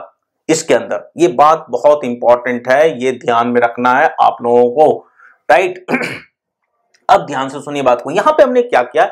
एक, जो है, एक एजम्सन यहाँ पे ली गई है कि भाई होता क्या है कि जो पॉइंट देखना ना, ये एंटीनोड एंटीनोड हल्के से पाइप से बाहर चला जाता है। जितना लेंथ जाता है, उसको कहते हैं एंड करेक्शन, या कहा जाता है, कई जगह पे इसको लाप्लास करेक्शन भी कहते हैं। जिसकी वैल्यू ई e से डिनोट करी जाती है। और ई e की जो वैल्यू होती है point six times of the radius of the tube point six times of this radius of the tube होती है एंड करेक्शन इसका मतलब क्या हो गया कि एक्चुअली डिस्प्लेसमेंट एंटी नोड के बीच का distance L plus two E है, क्योंकि इधर भी ई e बढ़ेगा, इधर भी ई बढ़ेगा, दोनों साइड तो एल प्लस टू ई हो जाएगा। तो यहाँ पे हो जाएगा actually V upon two into L plus two E मेरी बात समझे? L प्लस टू मैंने लिखा नहीं है, मैंने समझाने क्योंकि इतना सारा कुछ लिखा नहीं जा सकता है तो इसलिए यहाँ पे L प्लस टू ही होगा। L length of the tube plus twice of the end correction और एंड करेक्शन की वैल्यू जो होती है point six times of the radius of the tube के इक्वल होती है। समझिए बात को। तो कहीं पे भी एंड करेक्शन की बात है, सब जगह पे नेग्लेक्ट करा जाता है एंड करेक्शन लेकिन एंड करेक्शन को कंसिडर करा जाए तो ई e यहाँ पे आएगा। E is called the 0.6 times of the radius of the tube. इसका मतलब फंडामेंटल फ्रीक्वेंसी जो है एक्चुअली हो जाएगा V upon two L plus two L plus two bracket में रहेगा। ब्रैकेट में L plus two is called the end correction which is point six R right तो ये हो गया ओपन पाइप के लिए। अब एक क्लोज जॉइंट पाइप देखिए। क्लोज जॉइंट पाइप में क्या होगा भाई कि एक एंड क्लोज रहता है एक एंड यहाँ देख रहे हैं क्लोज रहता है। जहाँ पे एंड क्लोज रहेगा वहाँ पे displacement antinode and press sorry displacement node and pressure antinode यदि प्रेशर वेव के टर्म में बात करेंगे तो, तो प्रेशर एंटी नोड बनेगा और डिस्प्लेसमेंट के टर्म में बात करेंगे तो डिस्प्लेसमेंट नोड बनेगा प्रेशर एंटी नोड बनेगा। ये मैंने जो बना रखा है वो डिस्प्लेसमेंट वेव को कंसिडर करते बना हुआ है। और एट द ओपन एंड आपको पता ही कि डिस्प्लेसमेंट एंटी नोड बनता है राइट तो what is the distance lambda by four क्योंकि नोड है एंटी नोड है डिस्प्लेसमेंट नोड है डिस्प्लेसमेंट एंटी नोड है तो lambda by four this lambda by four will be equal to how much L तो lambda equal to four L hence, frequency will come out v by 4l this was the fundamental frequency. This was the first harmonic. इसलिए first harmonic ये second harmonic कहलाता है। ध्यान दीजिए, अगले में 3b by 12 is called the third harmonic लेकिन यहाँ पे बी बाई फोर एल के बाद अगला बनेगा three V by four L अगला बनेगा five V by four L at that mean यहाँ पे फ़र्स्ट हार्मोनिक के बाद थर्ड हार्मोनिक होगा। थर्ड इसको सेकंड नहीं बोलेंगे थर्ड हार्मोनिक उसके बाद फिफ्थ हार्मोनिक उसका सेवंथ हार्मोनिक इस केस में एग्जिस्ट करेगा क्लोज वार्निंग पाइप के केस में। तो क्लोज वार्निंग पाइप के केस में ऑड हार्मोनिक एग्जिस्ट करते हैं। ओपन ऑर्गन पाइप के केस में ऑड एंड इवन हार्मोनिक दोनों ही एग्जिस्ट करता है।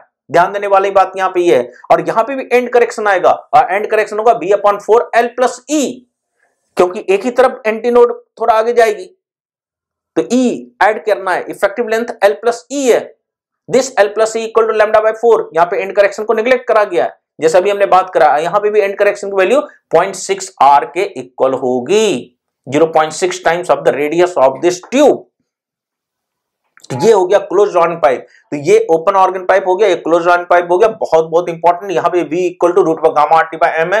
Velocity of the sound in the basically हम लोग कहेंगे कि एयर या gas content in the pipe तो ये दोनों भी बेसिकली आपका अल्टीमेटली रिलेटेड है स्टैंडिंग वेव के थ्रू ही. तो ये सारी बातें हमने अब तक डिस्कस करी है. अगला फिनोमिना आपका इंटरफेरेंस है. अच्छा एक बात और मैं बता दूँ आपको. एक बात मैं ये बताना चाहता हूँ V by twelve first harmonic two V by twelve second harmonic three V by twelve third harmonic उसी तरह से यहाँ पे वन बाई ट्वेल्व रूट पर T by mu first harmonic या फंडामेंटल हार्मोनिक अगला टू बाई ट्वेल्व रूट पर T by mu is call the second harmonic अब एक वर्ड ओवरटोन भी यूज़ होता है। ओवरटोन का मतलब क्या है? समझिए बात को। First overtone second overtone third overtone first overtone यहाँ पे आएगा two V by twelve first overtone second overtone is three V by twelve third overtone four V by twelve लेकिन यहाँ पे first overtone three V by two four L second overtone five V by four L fifth harmonic इसका कलाएगा second overtone समझिए बात को, यहाँ पे ध्यान दीजिए। यहाँ पे कहा जाए first overtone two V by twelve second overtone three V by twelve but यहाँ पे first overtone three V by four L second overtone is five V by four L यहाँ पे first overtone two by twelve root T by fundamental harmonic के अगला वाला, वहाँ से count करना है ओवरटोन के लिए। और ओवरटोन में कोई ऑड इवन नहीं होता सारे हो गए। फ़र्स्ट सेकंड थर्ड जो भी है। राइट right, ये पॉइंट है यहाँ पे। तो ओवरटोन वर्ड भी काफ़ी ज़्यादा यूज़ होता है। राइट right, ये पॉइंट है यहाँ पे। अब नेक्स्ट अब देखिए यहाँ पे। अगला फिनोमिना होता है इंटरफेरेंस इंटरफेरेंस के बारे में हालाँकि साउंड वेव में इतना ज़्यादा डिस्कशन नहीं करना है। इंटरफेरेंस का मेन डिस्कशन जो है आपका हमने अलग से जो वेब ऑप्टिक्स में पूरा डिटेल में डिस्कस कर रखा है तो इंटरफेरेंस के बारे में वहाँ पे जाके देखिए। और इंटरफेरेंस के केस में क्या होता है भाई कि जो उसके लिए कंडीशन यही है कि कोहरेंट सोर्सेस से आने वाले वेव्स जिसका मतलब क्या होता है कि the interfering waves will have the constant phase difference वहाँ पे phase difference between the interfering waves change ना करे। तो उस केस में इन फिनोमिना ऑफ़ इंटरफ्रेंस होता है, जिसमें कि आपको सक्सेसिव मैक्सिमा मिनिमा आप मतलब dark fringe bright fringe observe करते हैं। ये वेव ऑप्टिक्स में पूरा डिटेल में डिस्कशन होगा। मैं बस एक बार लिख दिया हूँ और रिज़ल्ट इंटेंसिटी जो होती है I equal to I one plus I two plus two root one I one I two cos five होती है। Five is call the phase difference right right, ये पॉइंट है यहाँ पे। तो इस तरीके से हमने सारा सुपर पोजिशन ऑफ़ वेव्स के बारे में आपके सामने डिस्कस कर दिया है। अब इसके बाद हम मैं जो बात करने जा रहा हूँ डॉपलस्ट इफ़ेक्ट ऑफ़ साउंड के ऊपर जिसको मैं प्रॉम्स के थ्रू समझाने जा रहा हूँ कि भाई कि कैसे उसको अप्लाई करेंगे और उसके कॉन्सेप्ट को यहाँ पर डिस्कस करने जा रहे हैं। तो आप उसके बाद देखिए इस लेक्चर के बाद जो डॉपलस इफ़ेक्ट ऑफ़ साउंड है और भी कुछ पॉइंट्स इसके अंदर हैं जो कि यदि होगा तो मैं डिस्कस कर दूँगा आ, बाद में या कुछ और सेशन में। अभी मैं ये सारी बातों को आपके सामने रखा हूँ और इसके साथ साथ कुछ प्रॉब्लम्स भी यहाँ पे डिस्कशन करी जा रही है जो कि उसमें ज़रूर से आप जाके इसी लेक्चर के अंदर इसी जो वीडियो लेक्चर में कुछ प्रॉब्लम्स भी साथ में रहेंगे ताकि इन सारे कॉन्सेप्ट को कैसे अप्लाई किया जा सकता है उसके बारे में समझाया जा सके आपको राइट तो मेरे ख्याल से सारी बातें आपको डेफिनेटली समझ में आई होगी तो डेफिनेटली लेक्चर को लाइक कीजिए। लोगों को हमारे चैनल के बारे में बताते रहिए, जितना ज़्यादा बता सकते हैं, ताकि उनको भी हमारे काम से बेनिफिट हो सके right okay thank you thank you very much मेरे प्यारे दोस्तों, मेरे प्यारे साथियों, हम लोग यहाँ पे बात करने जा रहे हैं डॉपलस इफ़ेक्ट के ऊपर राइट और डॉपलस इफ़ेक्ट से रिलेटेड मैं आपको की पॉइंट्स बता रहा हूँ। एक पर्टिकुलर टाइप ऑफ़ प्रॉब्लम्स आते हैं। उसका मैं जो की पॉइंट बताने जा रहा हूँ, इससे कई सारे प्रॉब्लम्स इसमें कवर अप होते हैं राइट तो क्या ये होएगा पॉइंट इसके ऊपर बात करते हैं।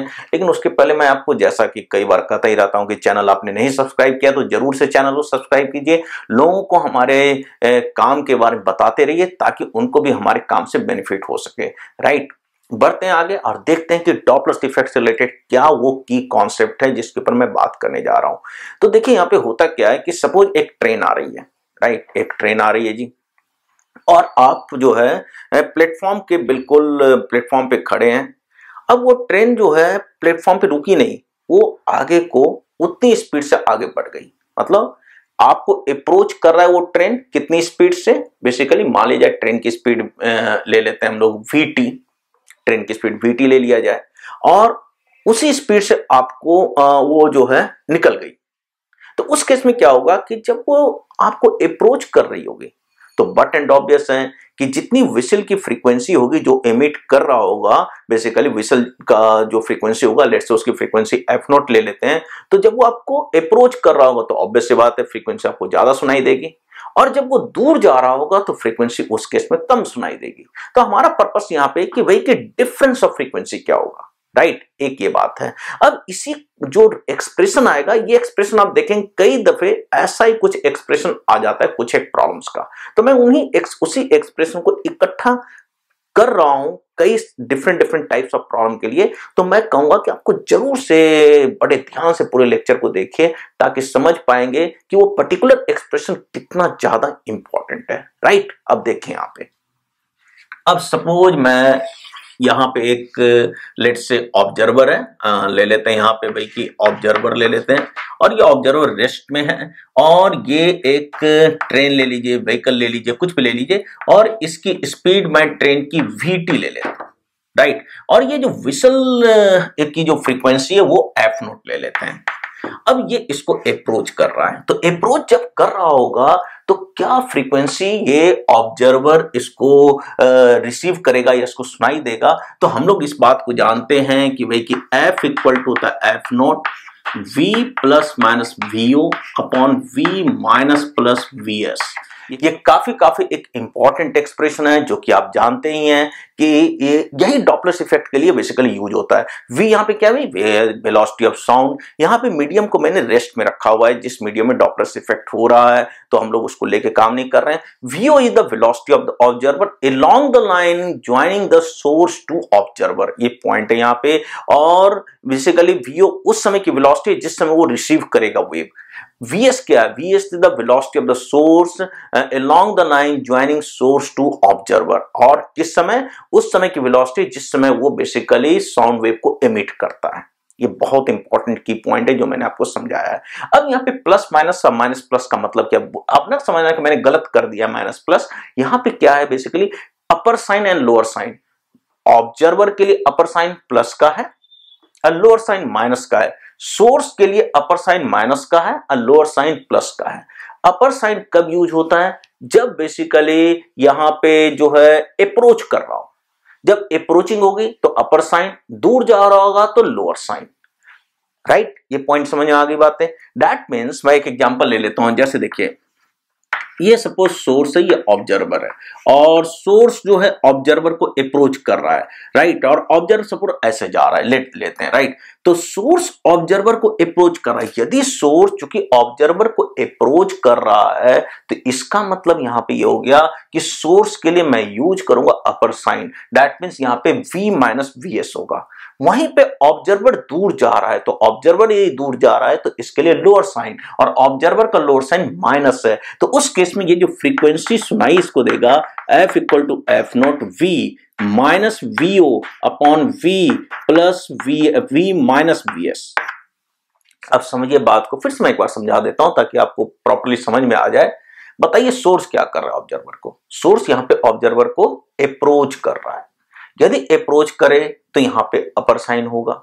और सोर्स के लिए अपर साइन मतलब वीएस का अपर साइन क्या है? माइनस इसलिए यहाँ पे मैंने लगाया वी माइनस वीएस अब देखिए ऑब्जर्वर सोर्स के रिस्पेक्ट में क्या कर रहा है? दूर जा रहा है। यदि ऑब्जर्वर चूँकि दूर जा रहा है सोर्स के रिस्पेक्ट में तो दूर जाने पे कैसा साइन लोअर साइन और ऑब्जर्वर का लोअर साइन क्या है? यहाँ पे माइनस है, ऊपर प्लस और नीचे माइनस तो यहाँ पे वी माइनस बी हो गया। मेरी बात समझ में आ गई बात यहाँ पे। और ये purely Doppler's effect of sound के लिए वाला फॉर्मूला अप्लीकेबल है। और यहाँ पे वेलोसिटी डेफिनेटली साउंड वेव की जो होनी चाहिए जो सोर्स ऑब्जर्वर की जो भी वेलोसिटी होनी चाहिए, वो डेफिनेटली और डेफिनेटली साउंड वेव की वेलोसिटी से कम होनी चाहिए। तभी हम लोग ये अप्लाई करेंगे। ये पॉइंट है यहाँ पे। राइट मेरी ख्याल से सारी बात समझ में आ गई अब। अब देखिए यहाँ पे। यही बात यहाँ पे करते हैं।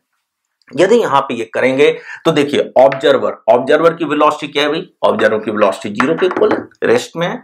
और ये सोर्स की वेलोसिटी वीटी ले लेते हैं क्योंकि मैंने ट्रेन ले रखा है कुछ और ले लीजिए कोई दिक्कत की बात नहीं है। या, या ऐसी कर देता हूँ मैं वीएस कर देता हूँ सबसे अच्छा वीएस कर देता हूँ राइट अब बताइए यहाँ पे ये कितना फ्रीक्वेंसी इसको रिसीव कर रहा होगा? जब ये अप्रोच कर रहा होगा तो लिखेंगे F one will be equal to F not original frequency emitted by the by this source into V VO की वैल्यू ज़ीरो की इक्वल है तो वीओ तो ज़ीरो हो जाएगा यहाँ पे। क्योंकि ये अप्रोच कर रहा है तो अप्रोच करने पे वी माइनस वी एस ये वाली बात हो गई। अब क्या हुआ कि भाई कि ये जो सोर्स है, वो बेसिकली क्रॉस कर गया। ये ना समझना कि इसके साथ ही कोलाइड कर जाएगा। बिल्कुल बिल्कुल साइड में है। मतलब जैसे मैं ऐसे हूँ और बिल्कुल ट्रेन ऐसे निकल गई है। बिल्कुल, इस तरह से निकल गई है। राइट ये पॉइंट है यहाँ पे। मतलब ऑलमोस्ट मैं एज्यूम कर रहा हूँ कि दोनों एक तरह से एक ही लाइन पे है सोर्स भी एंड ऑब्जर्वर भी ऑलमोस्ट राइट ये बात समझने वाली बात यहाँ पे। अब देखिए यहाँ पे, जब ये सोर्स निकल जाएगा जी, उतनी वेलोसिटी से वीएस से तब उस केस में ये ऑब्जर्वर कितनी फ्रीक्वेंसी सुनाई देगी? F2 that will be definitely कम सुनाई देगी यहाँ पे। इस केस में तो ज़्यादा सुनाई देगी बट इस केस में कम सुनाई देगी। F naught V upon V plus V S अब ऐसा क्यों भाई? V प्लस बी एस क्यों लगाया? क्योंकि ये दूर जा रहा है। तो दूर जाने पे क्या होगा? लोअर साइन होगा। यदि लोअर साइन होगा तो इसका मतलब वी का लोअर साइन प्लस है। अब हम लोग इन दोनों का डिफरेंस ले लेते हैं। यदि डिफरेंस लेंगे delta F that will equal to F one minus F two ले लेते हैं जी। तो एफ़ नोट को कॉमन ले लिया। V upon V minus V S V plus V S मेरे ख्याल से सारी बात आपको समझ में आ रही है कोई दिक्कत की बात नहीं होनी चाहिए इसमें। राइट ये पॉइंट है यहाँ पे। अब देखिए यहाँ पे एफ़ नोट ये v कॉमन ले लेते हैं। अंदर क्या हो जाएगा? V plus V S minus V plus V S divided by V square minus V S square basic calculation मैं कर रहा हूँ, जो कि आप भी कर लेंगे, कोई बड़ी बात नहीं यहाँ पे। तो v भी कैंसिल आउट हो गया। तो फाइनली मेरे पास डेल्टा f जो आ गया two F naught V into V S divided V square minus V S square अब ध्यान से सुनिए बात को। यदि v की वैल्यू जनरली सोर्स की वेलोसिटी से काफ़ी ज़्यादा होती है, क्योंकि velocity of sound normally air में 340 मीटर पर सेकंड होती है 320 से 340 जो भी दे रखा होगा मीटर पर सेकंड वो ले लीजिए यहाँ पे। सोर्स की वेलोसिटी यदि कम हो दैट मीन्स यदि v greater greater than V S हो सपोज़ वी एस जो है पाँच मीटर पर सेकंड है, ये तो कम है ये। 340 के रिस्पेक्ट में तो उस केस में यहाँ पे जो है डेल्टा एफ़ अप्रोक्सीमेटली क्या करेंगे? वी एस स्क्वायर निगलेक्ट हो जाएगा वी स्क्वायर रहेगा, ऊपर नीचे वी भी क्या हो गया जी? कैंसल आउट तो डेल्टा एफ़ हो जाएगा two F naught V S divided by V काफ़ी काफ़ी इंपॉर्टेंट ये एक्सप्रेशन मैं आपको डिराइव करके दिया हूँ। ये डायरेक्टली ये पॉइंट को ध्यान में रखिए, बहुत इंपॉर्टेंट ये एक्सप्रेशन है। बहुत दफे ये यूज़ होता है। चाहे कभी ये यूज़ हो सकता है, कभी ये यूज़ हो सकता है डिपेंड करेगा कि सोर्स की वेलोसिटी जो है साउंड की वेलोसिटी के रिस्पेक्ट में के रिस्पेक्ट में कितनी है? तो यदि मान लो सोर्स की वेलोसिटी आपकी दे रखी है पचास मीटर पर सेकंड, तब तो नेग्लेक्ट नहीं होगा। लेकिन यदि सोर्स की वेलोसिटी पाँच मीटर पर सेकंड है दस मीटर पर सेकंड नॉर्मली नेग्लेक्ट हो ही जाता है मोस्ट ऑफ़ द प्रॉब्लम है तो ये आप यूज़ करेंगे। अब इसका फ़ायदा क्या है? ये फ़ायदा है सपोज़ मैं यहाँ पे खड़ा हूँ, है ना? ट्रेन क्रॉस कर गई, कोई सोर्स क्रॉस कर गया अपने वही कांस्टेंट वेलोसिटी वी से, अब कहेगा कि भाई frequency difference observe by me पाँच हर्ट्ज फाइव हर्ट्ज ले लिया राइट तो कह देगा सीधे कि सोर्स की वेलोसिटी बता दीजिए तो यहाँ से आ जाएगा। और ओरिजिनल फ्रीक्वेंसी दे रखा होगा। ओरिजिनल फ्रीक्वेंसी बोला 340 हर्ट्ज है। और velocity of the sound wave भी 340 मीटर पर सेकंड है। तो सिंपल सी बात है सोर्स की वेलोसिटी से आ जाएगी 2.5 मीटर पर सेकंड आएगी, नहीं आएगी, बताइए। डायरेक्टली इसका यूज़ कर सकते हैं। अब ऐसा ही एक्सप्रेशन कई दफे आ जाता है, कई सारे प्रॉब्लम्स में। अब कहाँ कहाँ पे आता है, वो मैं आपको बताता हूँ। ध्यान से सुनिएगा बात को। अब देखिए अगला। ध्यान दीजिएगा, आप सब लोग ध्यान दीजिएगा, यहाँ पे यही सेम टाइप ऑफ़ एक्सप्रेशन आएगा। सही, कई जगह पे कई प्रॉब्लम्स में आ जाता है। ध्यान से देखिए, अब कहा आएगा जी? देखिए यहाँ पे। सपोज़ आपके पास, वही वाली बात है सपोज़ आपके पास जो है, फिर से एक बंदा खड़ा है है ना? अब कहा गया कि एक ये ट्यूनिंग फोर्क है जी ये दूसरा ट्यूनिंग फोर्क है। राइट? दोनों जो है फ्रीक्वेंसी जो इमिट कर रहा है, ये एफ़ नोट और ये भी एफ़ नोट इमिट कर रहा है। लेकिन ये ट्यूनिंग फोर्क वेलोसिटी वीएस से अप्रोच कर ये दूर जा रहा है। समझिए बात को, ये ट्यूनिंग फोर्क इस ऑब्जर्वर को वेलोसिटी वीएस से अप्रोच कर रही है और ये ट्यूनिंग फोर्क दूर जा रहा है। अब सो ये जो ट्यूनिंग फोर्क की वेलोसिटी ज़्यादा नहीं है, ठीक ठाक है। राइट इतना हो रहा है जिससे कि ये बिट फ्रीक्वेंसी बिट फ्रीक्वेंसी मतलब क्या होगी यहाँ पे? इंटेंसिटी कभी इसको मैक्सिमा कभी मिनिमा रेगुलर इंटरवल पे सुनाई दे रहा है इस ऑब्जर्वर को। राइट ये पॉइंट है। तो कहेगा भाई फ्रीक्वेंसी डिफरेंस कर दें या यहाँ पे बिट्स फ्रीक्वेंसी कर दें तो कहेगा बिट्स फ्रीक्वेंसी किसके इक्वल है? बसरते ट्यूनिंग फोर की वेलोसिटी काफ़ी ज़्यादा नहीं है। तो मैं डायरेक्टली यहाँ पे यूज़ कर सकता हूँ। बिल्कुल वही प्रॉब्लम है। समझिए बात को। जब ये अप्रोच कर रहा होगा तो इसके पास ये वाली फ्रीक्वेंसी कितना इसको ऑब्ज़र्व करेगा? F one will be equal to F naught into V upon V minus V S क्योंकि ये दूर जा रहा है तो इसकी वाली फ्रीक्वेंसी कितना अप्रोच करेगा? ये कितना सुनाई देगा? F naught into V upon V plus V S जब उसका डिफरेंस लेंगे तो यही तो आएगा। तो इसका मतलब बिट फ्रीक्वेंसी बिट्स फ्रीक्वेंसी जो हो गया यहाँ पे that will be delta F f. Once again, it will come out 2f naught v into vs divided by v square minus vs square. समझने वाली बात है, बहुत इंपॉर्टेंट पॉइंट मैं डिस्कस कर रहा हूँ। और यदि मैं डेल्टा एफ़ की अप्रोक्सीमेट वैल्यू लिखूं तो it will be equal to F naught V S upon V ये लिखा जाएगा। बहुत बहुत इंपॉर्टेंट प्रॉब्लम मैंने आपके साथ डिस्कस किया है। बहुत ही इंपॉर्टेंट की पॉइंट्स हैं जिसको ध्यान में रखना है। तो देखिए, पिछला वाला जो प्रॉब्लम किया कि भाई की ट्रेन है कोई व्हीकल है, आपको अप्रोच किया, फिर उसी स्पीड से क्रॉस कर गया। तो डिफरेंस ऑफ़ फ्रीक्वेंसी कितना ऑब्ज़र्व करेंगे? वही वाली बात है, क्योंकि ये वाला रिज़ल्ट है। दोनों एक ही बात है। बहुत इंपॉर्टेंट है ये। इसको ध्यान में रखना है। Right right? अब अगला यहाँ पे पॉइंट देखें यहाँ पे। अब अगले पॉइंट पे हम लोग क्या डिस्कस करने जा रहे हैं कि ध्यान से समझिए बात को। अब ये मैं हटा देता हूँ।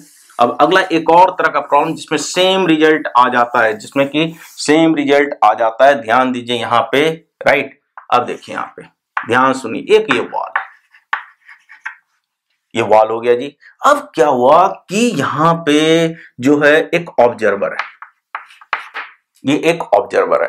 और सपोज़ ये एक ट्यूनिंग फोर्क ले लीजिए या आप कोई व्हीकल कुछ भी ले लीजिए, और ये frequency F naught continuously emit कर रहा है। और ये व्हीकल जो है वेलोसिटी वी टी से अप्रोच कर रहा है। हो सकता है ट्यूनिंग फोर्क हो जी।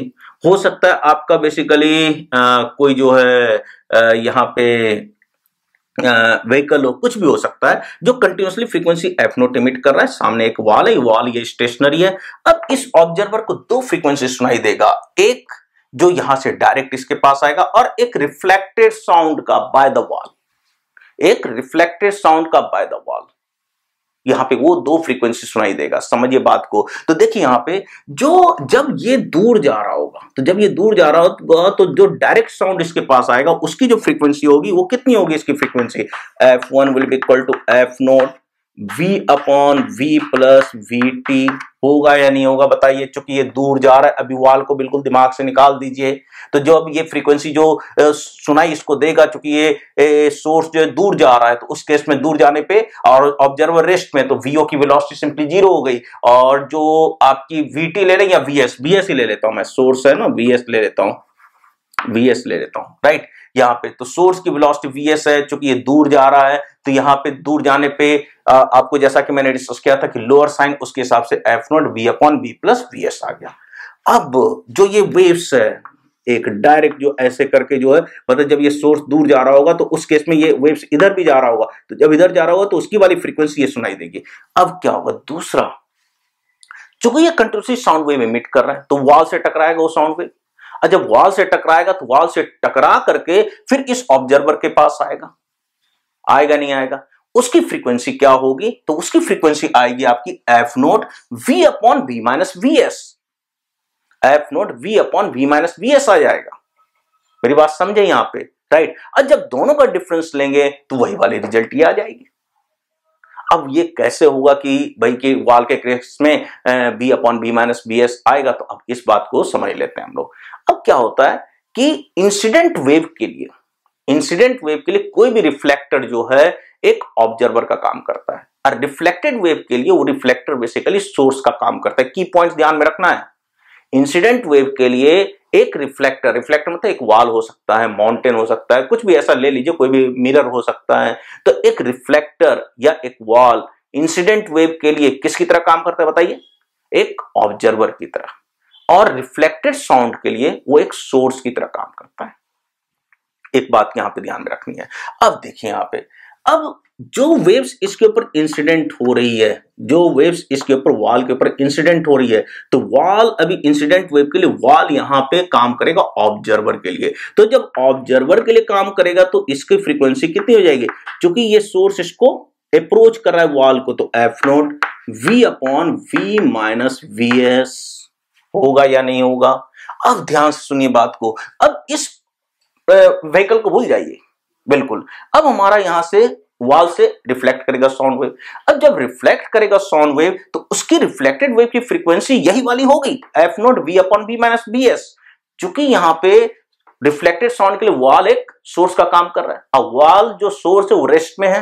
ये ऑब्जर्वर भी रेस्ट में है तो यही फ्रीक्वेंसी इसको सुनाई देगा। यही वाली फ्रीक्वेंसी इसको सुनाई देगा। F naught V upon V minus V S ही सुनाई देगा।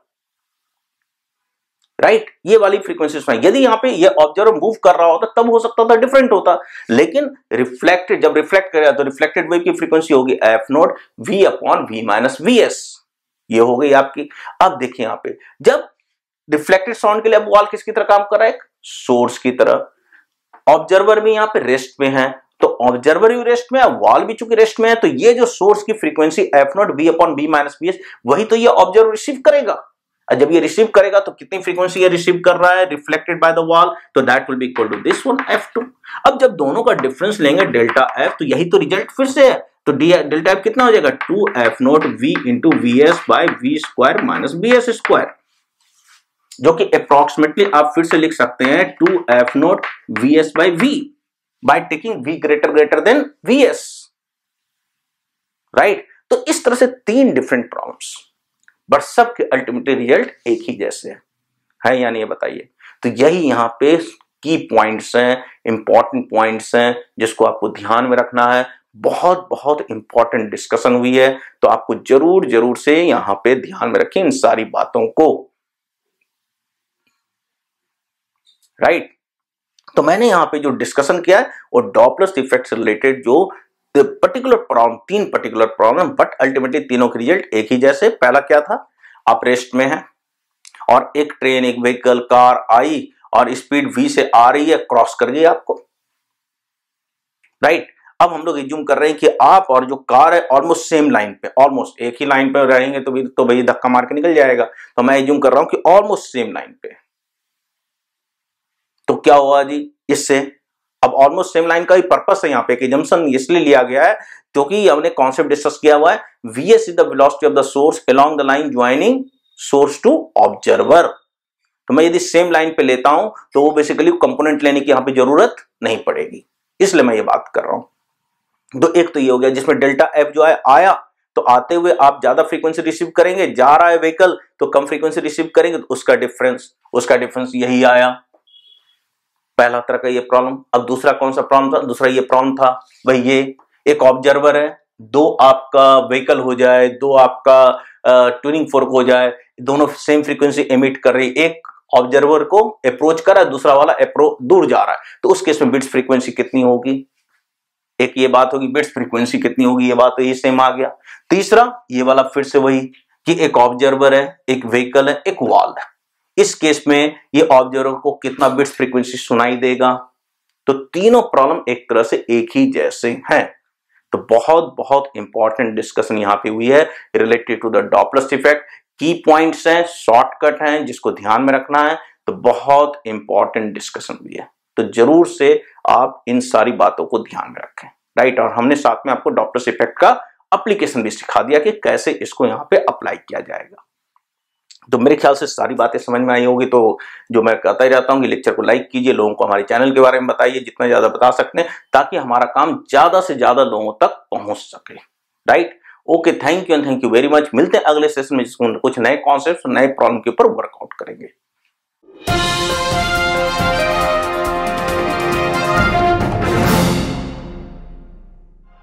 One the concept of physics H C Verma इसके मैं क्वेश्चंस को डिस्कस कर रहा हूँ। यहाँ पे जो मैं डिस्कस करने जा रहा हूँ, ये आपका चैप्टर है साउंड वेव्स और पेज नंबर 357 इसमें एक काफ़ी अच्छा प्रॉब्लम है प्रॉब्लम नंबर 86 ये प्रॉब्लम आपका जो टॉपिक से रिलेटेड है, वो डॉपलर इफ़ेक्ट से रिलेटेड है। और इसके कॉन्सेप्ट को आपको पहले से पता होना चाहिए, तभी जाकर के आप इस प्रॉब्लम को समझ पाएँगे। देखिए यहाँ पे प्रॉब्लम क्या है, मैं पहले से यहाँ पे फिगर बना रखा हूँ। यहाँ पे एक सोर्स है जो कि 22 मीटर पर सेकेंड से along the Y axis move कर रहा है राइट और एक ऑब्जर्वर है जो कि 660 मीटर कॉमा ज़ीरो पे सिचुएटेड है। सोर्स 4000 हर्ट्ज की फ्रीक्वेंसी एमिट कर रहा है। तो हमारा प्रॉब्लम यहाँ पर यह है कि जिस समय सोर्स ओरिजिन से क्रॉस कर रहा होगा डेट मीन्स इस पॉइंट से क्रॉस कर रहा होगा उस मोमेंट पे इस ऑब्जर्वर को कितनी फ्रीक्वेंसी सुनाई देगी। ये प्रॉब्लम काफ़ी टेक्निकल प्रॉब्लम है। टेक्निकल इसलिए हो जाता है कि हमारे को डॉपलर्स इफ़ेक्ट का कंप्लीट कॉन्सेप्ट जो है वो क्या है, उसके ऊपर बेस्ड है। डॉपलर्स इफ़ेक्ट ये कहता है कि whenever there is a relative motion between the source and observer along the line joining source to observer ये टेक्निकल है। पॉइंट यहाँ पे देखिए along the line joining source to observer right तो ये काफ़ी एक टेक्निकल स्टेटमेंट है। तो मैं फिर से एक बार रिपीट कर रहा हूँ। Whenever there is the relative motion between the source and observer along the line joining source to observer, then the frequency emitted by the source and the frequency observed by the observer will be different. केवल लोग ये सोचते हैं कि relative motion होना ज़रूरी है but relative motion along the line joining the source and observe होना चाहिए राइट तो अब आप गलती यहाँ पे क्या कर सकते हैं इस कॉन्सेप्ट को लेकर के कि ये सोचा जा सकता है जिस समय सोर्स ओरिजिन से क्रॉस कर रहा होगा तो उस समय इसकी velocity along the Y axis है। ऑब्जर्वर रेस्ट में है। तो हमारा स्टेटमेंट ये डॉपलर इफ़ेक्ट कहता है कि whenever there is a relative motion between the source and observer along the line joining source to observer तो हो क्या रहा है कि along the line joining source to observer जो कि एक्स एक्सिस है, उस समय उसके अलोंग कोई भी रिलेटिव मोशन नहीं है। यदि उसके अलोंग कोई भी रिलेटिव मोशन नहीं है इन जनरल लोग ये सोच सकते हैं कि इसका मतलब जो ऑब्जर्वर उस समय जो फ्रीक्वेंसी ये रिसीव कर रहा होगा या सुन रहा होगा, वो फोर थाउज़ेंड हर्जी होगा। राइट तो ये एक गलत सोच हो सकती है। इसलिए प्रॉब्लम काफ़ी काफ़ी इंपॉर्टेंट हो जाता है। पॉइंट यहाँ पर क्या है कि ऑब्जर्वर जो है कौन सी फ्रीक्वेंसी सुन रहा है? क्या वो फ्रीक्वेंसी सुन रहा है जिसमें सोर्स ओरिजिन से क्रॉस कर रहा था? नहीं। सोर्स जिस समय ओरिजिन से क्रॉस कर रहा था वो वेव तो उसके, उसके पास कुछ देर के बाद आएगा। जिसकी फ्रीक्वेंसी उसे 4000 हर्ट्ज कुछ देर के बाद सुनाई देगी। यहाँ पे पॉइंट क्या है? स्टेटमेंट देखिए स्टेटमेंट ये प्रॉब्लम का कह रहा है कि जिस समय सोर्स ओरिजिन से क्रॉस कर रहा है, उस समय ऑब्जर्वर को कितनी फ्रीक्वेंसी सुनाई दे रही है राइट तो सोर्स जिस समय ओरिजिन से क्रॉस कर रहा होगा, उस समय जो फ्रीक्वेंसी ऑब्जर्वर रिसीव कर रहा होगा, वो वाली फ्रीक्वेंसी या वो वाली वेव तो पहले ही इमिट हो चुकी है। यहाँ पे इमिट हो गई होगी। जिस समय सोर्स उस वेव को इमिट करा होगा, जो ओरिजिन से पहले है तो वो सोर्स जो है ऑब्जर्वर को क्या कर रहा है? अप्रोच कर रहा है। और अप्रोच किसके अलोंग कर रहा है? Along the line joining the source and observer मतलब इस लाइन के अलोंग जब भी सोर्स ऑब्जर्वर को अप्रोच कर रहा होता है along the line joining the source to observer तो उस समय जो फ्रीक्वेंसी ऑब्जर्वर को सुनाई देती है, वो ओरिजिनल फ्रीक्वेंसी या frequency emitted by the source से ज़्यादा होती है। तो ऑब्जर्वर को जो फ्रीक्वेंसी सुनाई देगी, वो डेफिनेटली फोर पॉइंट हर्ट से ज़्यादा होगी। ऑब्जर्वर को जो फ्रीक्वेंसी सुनाई देगी, वो कितनी देगी, वो देखिए ध्यान से। मैं इस प्रॉब्लम को डायरेक्टली एक रिज़ल्ट से सॉल्व कर सकता हूँ, और रिज़ल्ट क्या है? वो रिज़ल्ट हम लोग डेराइव भी कर सकते हैं, और काफ़ी इंटरेस्टिंग रिज़ल्ट है। इन रिज़ल्ट क्या है? रिज़ल्ट यहाँ पे है कि f equal to F naught one upon one minus X square right और x यहाँ पे क्या है? और f नोट क्या है? f naught is the frequency emitted by the source f is the frequency received by the observer x की value यहाँ पे है velocity of the source divided by velocity of the sound wave, right? ये यहाँ पे है। तो x की वैल्यू कैसे निकलेगी? Velocity of the sound wave जो है, वो दे रखी है आपकी 330 metre per second velocity of the source दे रखी है 22 मीटर पर सेकंड तो x की वैल्यू जब निकालेंगे तो x will come out 22 divide by 330 जब ये कैलकुलेट करेंगे तो it will come out 1 by 15 अब इस एक्स की वैल्यू यहाँ पे वन बाई फिफ्टीन प्लेस कर दीजिए और एफ़ नोट की value four thousand hertz place कर दीजिए। तो एफ़ की जो अप्रोक्सीमेट वैल्यू आएगी कैलकुलेट करने के बाद वो आएगी आपकी four zero one eight hertz जो कि आंसर में दे रखा है। ये अप्रोक्सीमेट वैल्यू आएगी राइट तो हम लोग इस रिज़ल्ट को डायरेक्टली यूज़ करके इस प्रॉब्लम को सॉल्व कर सकते हैं और काफ़ी जल्दी सॉल्व हो जाएगा। अब पॉइंट यहाँ पे आता है कि रिज़ल्ट आया कैसे और ये काफ़ी काफ़ी इंटरेस्टिंग रिज़ल्ट है। ये आपका ऑब्जर्वर है जो कि एक्स एक्सिस पे सिचुएटेड है और एक सोर्स जो है along the y axis move कर रहा है और ये source continuously frequency f naught emit कर रहा है राइट अब यहाँ पे क्या कहा जा रहा है कि जिस समय सोर्स ओरिजिन से क्रॉस कर रहा होगा, उस समय ऑब्जर्वर को कितनी फ्रीक्वेंसी सुनाई देगी। प्रॉब्लम यहाँ पर यह है। इसमें सोर्स ओरिजिन से क्रॉस कर रहा होगा। उस समय वो फ्रीक्वेंसी ऑब्जर्वर सुनेगा जो कि सोर्स ने कुछ देर पहले एमिट कर दिया है। तो जिस समय यह वेव एमिट करा गया होगा, उस समय सोर्स कुछ दूर पहले होगा। सोर्स ने एक वेव एमिट इस जगह पे करी होगी राइट वो वेव यहाँ से चलना शुरू करा होगा और ये ऑब्जर्वर के पास यहाँ तक पहुँचा होगा। वो साउंड वेव जितनी देर में सोर्स से ऑब्जर्वर तक गया है, उतनी ही देर में ये सोर्स जो है, इस पॉइंट से ओरिजिन तक पहुँचा है। कि सपोज़ मैं वो फ्रीक्वेंसी एफ़ नोट ले लेता हूँ, जो सोर्स ने इस जगह पे इमिट किया है।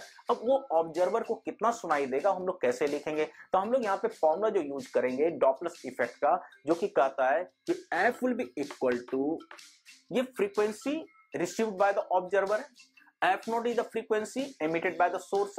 V is the velocity of the sound wave in the medium in air हो गया Vs is the velocity of the source. ये है along the line joining the source to observer.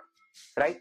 तो मैं इसको Vs डैश से डिनोट कर देता हूँ ध्यान दीजिए यहाँ पे मैं इसको Vs डैश से इसलिए बोल रहा हूँ Vs dash is the velocity of the source along the line joining the sourse to observer right तो वी एस डैश की वैल्यू क्या होगी? सपोज़ मैं ये एंगल थीटा ले लेता हूँ और velocity along the y axis जो सोर्स के वी एस है तो सोर्स और ऑब्जर्वर के अलोंग जो लाइन है, उसके अलोंग की वेलोसिटी वीएस डैश होगी और ये वी एस डैश की वैल्यू कितने के इक्वल हो जाएगी? V s cos theta right अब पॉइंट क्या है कि वीएस तो दे रखा है प्रॉब्लम में बट कॉस थीटा नहीं दे रखा है। अब हमारा मेन पर्पस है यहाँ पे कॉस थीटा की वैल्यू ही कैलकुलेट करना।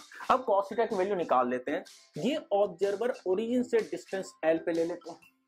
और जिस समय सोर्स ने वेव को एमिट करा होगा, वो ओरिजिन से डिस्टेंस वाई पे है राइट तो cos थीटा की वैल्यू कितनी हो जाएगी? cos theta will be equal to इस ट्रायंगल से देखिए, cos theta will be equal to y divide by root over l square plus y square अब देखते हैं हम लोग ये कैसे कैलकुलेट कर सकते हैं। साउंड वेव सोर्स ने इस जगह पे इमिट करा है।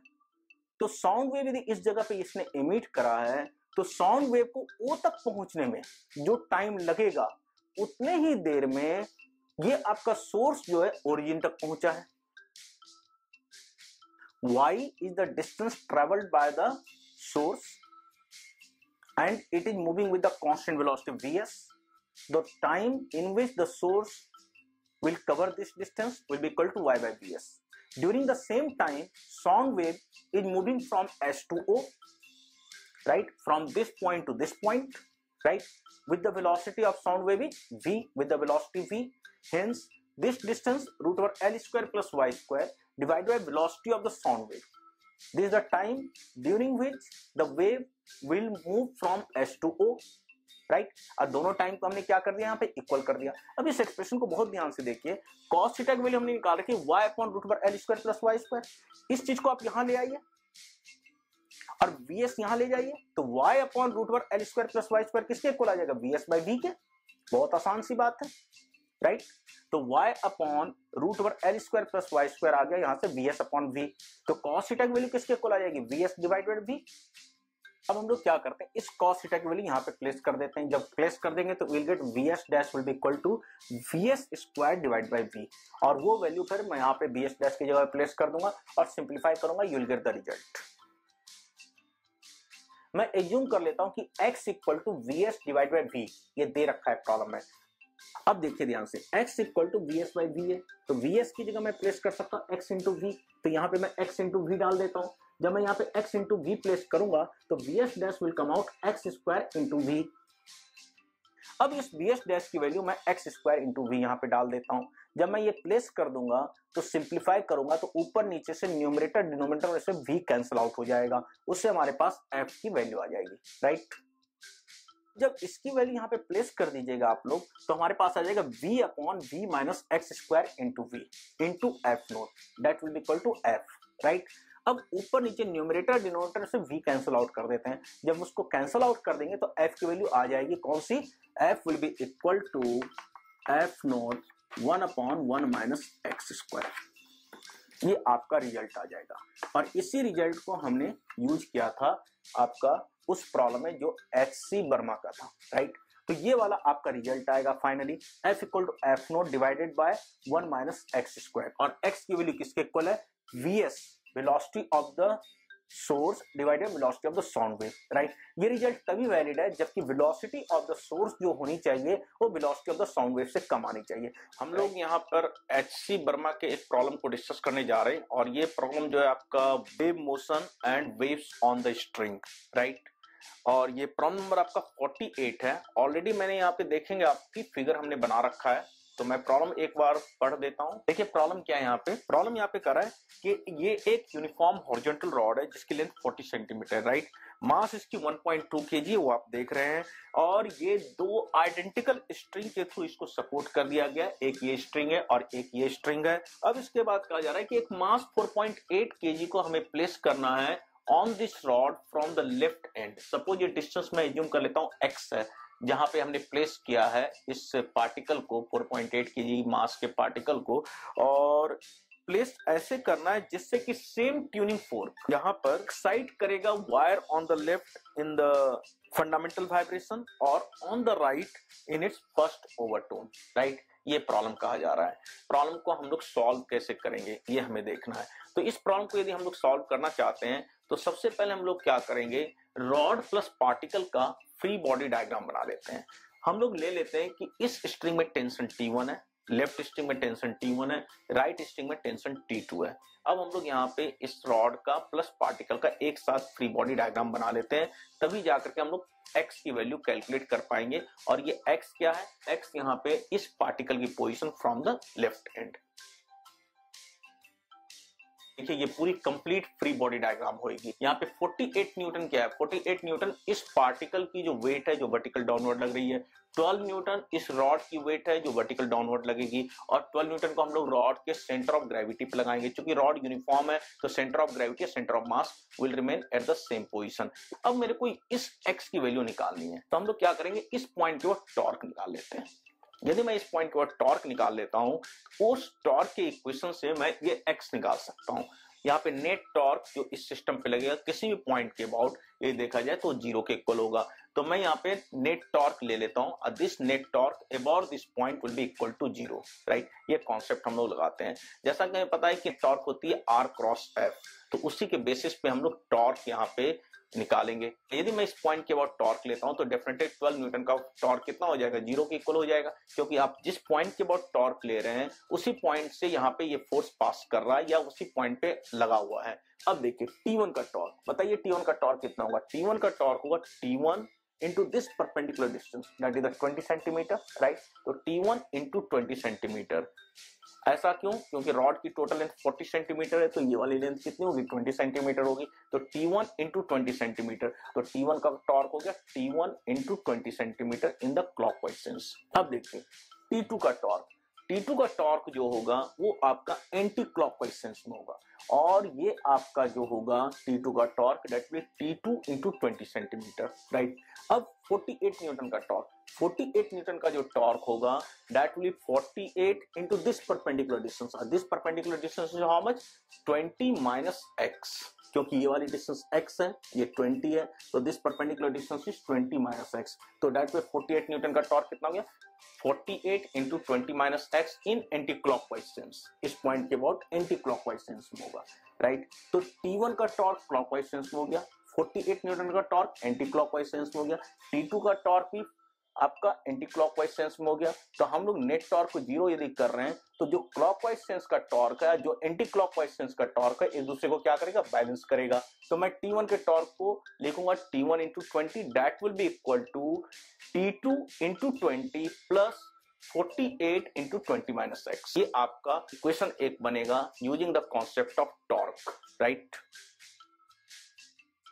ये एक इक्वेशन हमने बनाया using the concept of torque ये भी सेंटीमीटर में, ये भी सेंटीमीटर में और ये भी सेंटीमीटर में है। तो यदि आप एक्स निकालना चाहते हैं तो अब हमारी ज़रूरत है T one and T two की। Net force will be zero तो T one plus T two will be equal to how much sixty newton तो अगला इक्वेशन हमारे पास आ गया T one plus T two will to sixty newton लेकिन अभी भी यदि हमें एक्स निकालना है तो अभी भी एक और इक्वेशन की ज़रूरत पड़ेगी तो एक और इक्वेशन कैसे आएगा। अब वो कॉन्सेप्ट हम लोग लगाएँगे कॉन्सेप्ट ऑफ़ स्टैंडिंग वेव जिसके थ्रू हम लोग टी वन और टी टू को रिलेट कर सकते हैं। अब ध्यान दीजिए यहाँ पे। अब देखिए यहाँ पे, हमारा पर्पस है टी वन और टी टू को रिलेट करना। आपको जैसा कि प्रॉब्लम में हमें दे रखा है ये वाला वायर और ये वाला वायर दोनों को सेम ट्यूनिंग फोर्क से एक्साइट करी गई है। इसका मतलब दोनों में जो स्टैंडिंग वेव की जो फ्रीक्वेंसी डेवलप हो रही है, वो इक्वल होगी। पहली बात तो ये हो गई। दूसरी बात, ये वाला आपका फंडामेंटल हार्मोनिक में है, जैसा कि आप देख रहे हैं, और ये आपका फ़र्स्ट ओवरटोन है। फ़र्स्ट ओवरटोन का मतलब सेकेंड हार्मोनिक तो इसकी फ्रीक्वेंसी इसकी फ्रीक्वेंसी अलग अलग लिखेंगे और दोनों को आपस में इक्वल कर देंगे। इसकी फ्रीक्वेंसी कितनी होगी? चूँकि स्ट्रिंग में टेंशन टी है तो हम लोग इसकी फ्रीक्वेंसी जो लिखेंगे one upon twelve root but T one by mu क्योंकि ये फंडामेंटल मोड में है, इसलिए। ये वाला जो है आपका सेकंड हार्मोनिक में मतलब फ़र्स्ट ओवरटोन में तो इसकी जो frequency of vibration right wire की लिखी जाएगी, वो लिखी जाएगी two upon twelve root over T two divide by mu and दोनों आपस में इक्वल होंगे, दोनों फ्रीक्वेंसी आपस में इक्वल होंगे। इससे हमारे को टी वन और टी टू का रिलेशन आ जाएगा राइट जो हमने लिखा हुआ है, ये according to the concept of standing wave लिखा हुआ है राइट ये वाली जो स्टैंडिंग वेव की फ्रीक्वेंसी डेवलप हो रही है, वो आपकी लेफ़्ट वायर में हो रही है और ये आपकी राइट वायर में हो रही है। क्योंकि हम लोग जो ट्यूनिंग फोर्क जिससे हम लोग दोनों वायर को एक्साइट कर रहे हैं, वो आइडेंटिकल है तो ये फ्रीक्वेंसी भी आपस में आइडेंटिकल होगी। लेंथ दोनों स्ट्रिंग की इक्वल होगी, क्योंकि आइडेंटिकल वायर्स हैं। क्योंकि आइडेंटिकल वायर्स होने की वजह से म्यू भी आपस में क्या होगी? मास पर यूनिट लेंथ वो भी आपस में इक्वल होगी। इससे हम लोग टी वन और टी टू को रिलेट कर लेंगे। देखिए, ध्यान से T one equal to forty two आ गया। बहुत ही आसान है। तो इससे हमने T one equal to forty two लिख दिया। हमारे पास कितने इक्वेशन हो गए? हमारे पास एक ये इक्वेशन हो गया, एक ये इक्वेशन हो गया और एक ये इक्वेशन हो गया। तीन, हमारे पास इक्वेशन है तीन वेरिएबल है तो तीनों को हम लोग बड़े आसानी से फाइंड आउट कर सकते हैं। पहले आप इन दोनों को सॉल्व कर लीजिए। इन दोनों को सॉल्व करके आपको T1 और T2 की वैल्यू आ जाएगी। T1 equal to four T two है, यहाँ पे प्लेस कर देते हैं। T1 की जगह पे फोर टी टू तो T2 की वैल्यू सिंपल सी बात है, कितनी आ जाएगी? ट्वेल्व न्यूटन टी टू तो four T two plus T two that will give five T two 5 T2 equal to 60 and T2 will come out how much?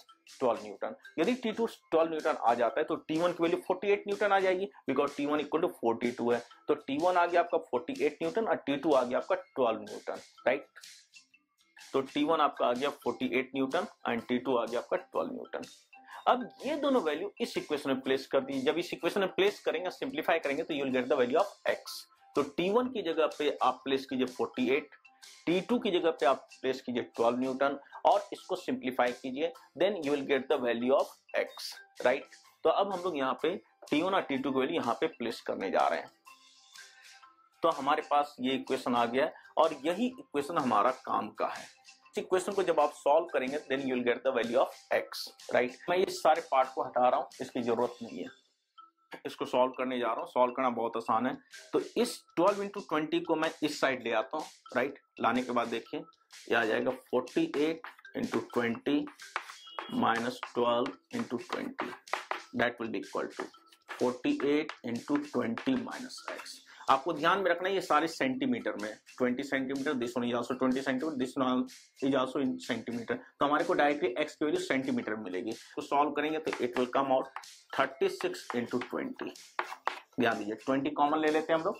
20 common लेने का 48 eight minus twelve that will come out 36 तो 36 six into twenty that will equal to 48 eight into twenty minus x right बहुत इसको आप smart way में solve कीजिए right ये नहीं कि मल्टीप्लाई करें। 36 और 48 12 से दोनों साइड डिवाइड कर दीजिए तो it will come out 3 right it will come out 4 तो ये आपका आ गया three into twenty will equal to four into twenty minus x इसको सॉल्व करते हैं। Three into twenty how 60 this one is 80 minus four x तो 60 equal to 80 minus four x right अब इसके बाद देखिए इसको सॉल्व कीजिएगा तो आपको बड़े आसानी से four x will come out how much? Twenty and hence x will come out 5 centimeter. so by solving this, you can get the value of x equal to 5 centimeter. Hence, x will come out 5 centimetre मतलब हो गया, जब इस particle को left and से 5 centimetre पे रखेंगे तो लेफ़्ट वाले वायर में फंडामेंटल हार्मोनिक डेवलप होगा राइट वाले वायर में आपका फ़र्स्ट ओवरटोन या सेकंड हार्मोनिक डेवलप होगा by using the same tuning fork इस तरीके से हमने इस प्रॉब्लम को सॉल्व किया। आप हमारे चैनल को सब्सक्राइब करें, हमारे वीडियोज़ को लाइक करें, इससे हमारे को मोटिवेशन मिलती है। और साथ में आप दूसरों को हमारे काम के बारे में बताइए, हमारे चैनल के बारे में बताइए। और इससे क्या होगा कि उनको भी हमारे काम से मदद मिलेगा, उनकी पढ़ाई में मदद मिलेगा। Right thank you and thank you very much मेरे प्यारे दोस्तों, मेरे प्यारे साथियों, हम लोग यहाँ पे बात करने जा रहे हैं इंपॉर्टेंट प्रॉब्लम्स जो आपके वेव्स के हैं राइट? तो उन सारे प्रॉब्लम्स को हम लोग डिस्कस करने जा रहे हैं जो कि आपके वेव्स के कॉन्सेप्ट रिलेटेड हैं साथ में ये प्रॉब्लम इनफैक्ट मैं ये कहूँ कि प्रीवियस ईयर में जैसे क्वेश्चंस आते हैं, उसी के से या उसी से रिलेटेड जो हैं, उस तरह के हैं, ताकि आप ये समझ पाएँगे कि भाई कि कैसे प्रीवियस ईयर के क्वेश्चंस हैं वो आपको समझ में आएगा राइट तो हम लोग स्टार्ट करते हैं डिस्कशन करना वेब से रिलेटेड प्रॉब्लम के ऊपर वन बाय वन करके करते हैं डिस्कशन अब उसके पहले मैं जैसा कि कई बार बोलता ही रहता हूँ कि आपको ज़रूर से चैनल को सब्सक्राइब करना चाहिए, लोगों को हमारे चैनल के बारे में बताते रहना चाहिए, हमारे वर्क के बारे में बताते रहना चाहिए, ताकि उनको भी हमारे काम से बेनिफिट मिल सके। अब फटाफट स्टार्ट करते हैं प्रॉब्लम के ऊपर डिस्कशन राइट तो कहा गया कि ग्रेनाइट रॉड है। हमारे पास एक ग्रेनाइट रॉड है और ये ग्रेनाइट रॉड का कहा गया कि भाई की लेंथ 60 सेंटीमीटर है और क्लैंप कर गई है at the middle point middle point पे क्लैंप कर दी गई है। जिस पॉइंट पे क्लैंप करते हैं, वहाँ पे डेफिनेटली वो पॉइंट डिस्प्लेसमेंट नोड का काम करता है। ये बात आपको पता होना चाहिए, क्योंकि वो पॉइंट जो है डिस्प्लेस हो ही नहीं सकता है, वो पॉइंट मूव कर ही नहीं सकता है राइट तो इसका अंदर मिडल पॉइंट पे डेफिनेटली नोड बन रहा है। Is set into longitudinal vibration longitudinal vibration उसमें सेट कर दी गई है। इसका मतलब उस रॉड के ऊपर एक्चुअली जो है स्टेशनरी लॉन्गिट्यूडनल वेव से डेवलप हुआ है राइट ये पॉइंट है यहाँ पे। तो मैं क्या करता हूँ कि रॉड बना लिया जाए भाई। तो रॉड मैं बना लेता हूँ। देखिए यहाँ पे रॉड मैंने बना लिया। और इसकी लेंथ मैं जूम कर लेता हूँ। लेंथ एल है टोटल लेंथ इसकी एल है और एल की वैल्यू यहाँ पे 60 सेंटीमीटर लास्ट में प्लेस कर देंगे।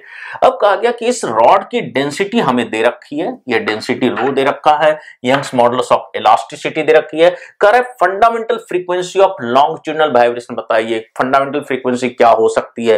फंडामेंटल फ्रीक्वेंसी का मतलब मिनिमम पॉसिबल केस क्या बन सकता है वाइब्रेशन का, उसके ऊपर बात करने जा रहे हैं। अब मिनिमम पॉसिबिलिटी का मतलब यहाँ पे क्या है?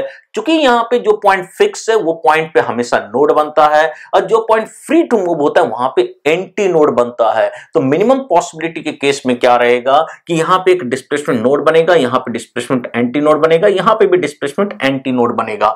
तो राइट तो ये कुछ ऐसा वाइब्रेशन होगा। समझिए यहाँ पे जब इसको वाइब्रेशन देखेंगे आप इसका तो ये वाइब्रेशन कुछ ऐसा होगा। राइट ये पॉइंट यहाँ पे और लेंथ ऑफ़ द रॉड चूँकि एल है तो यहाँ पे L by two L by two हो जाएगा। तो समझिए बात को यहाँ पे। यहाँ से यहाँ तक की डिस्टेंस कितनी होती है? यदि वेवलेंथ लैमडा हो तो यदि वेवलेंथ यहाँ पे लैमडा होगा तो डेफिनेटली यहाँ से यहाँ तक लैमडा बाय फोर क्योंकि this one the node this one the antinode तो this lambda by four will be equal to L by two इससे मेरे को वेवलेंथ मिल जाएगा। क्यों मैं एल बाई टू ले रहा हूँ? क्योंकि हाफ़ ऑफ़ द लेंथ यदि टोटल आप लेते हैं तो दिस वन इज़ एल और यदि एल लेंगे तो L will be equal to lambda by two एक ही बात है, कोई दिक्कत की बात नहीं है। तो यहाँ से मेरे पास लैमडा की वैल्यू आ जाएगी और this lambda will come out simple सी बात है 2l तो वेवलेंथ आ गया हमारे पास। अब वेवलेंथ आ गया तो अब फ्रीक्वेंसी निकालनी तो फ्रीक्वेंसी क्या होती है? सिंपल सी बात है, f equal to v by lambda और what is the velocity of the longitudinal wave that will be equal to square root of y by rho right तो फ्रीक्वेंसी जो हो जाएगी v by lambda it will be equal to one upon two L root over y divided by rho बस हो गया, बात खत्म हो गई। अब लेंथ की वैल्यू यहाँ पे कितना प्लेस करेंगे? 60 सेंटीमीटर ये 60 सेंटीमीटर है। मैं एक बार फिर भी चेक कर लेता हूँ। जहाँ से क्वेश्चन इनफैक्ट ये प्रीवियस ईयर के क्वेश्चन रिलेटेड ही है, या वही है 60 सेंटीमीटर है। ये 60 सेंटीमीटर है। ये एम नहीं यहाँ पे। 60 सेंटीमीटर है। तो L की वैल्यू यहाँ पे 0.6 मीटर प्लेस कर देते हैं तो 1 upon two into zero metre root over y Y की वैल्यू हो गई आपकी two nine point two seven nine point two seven into ten ten right divided by two point seven into tens और three और इसको simplify कीजिए and get the result यदि आप इसको सिंप्लीफाई करेंगे तो व्हाट यू विल गेट ये आपका आएगा five kilo hertz exactly answer आ जाएगा आपका।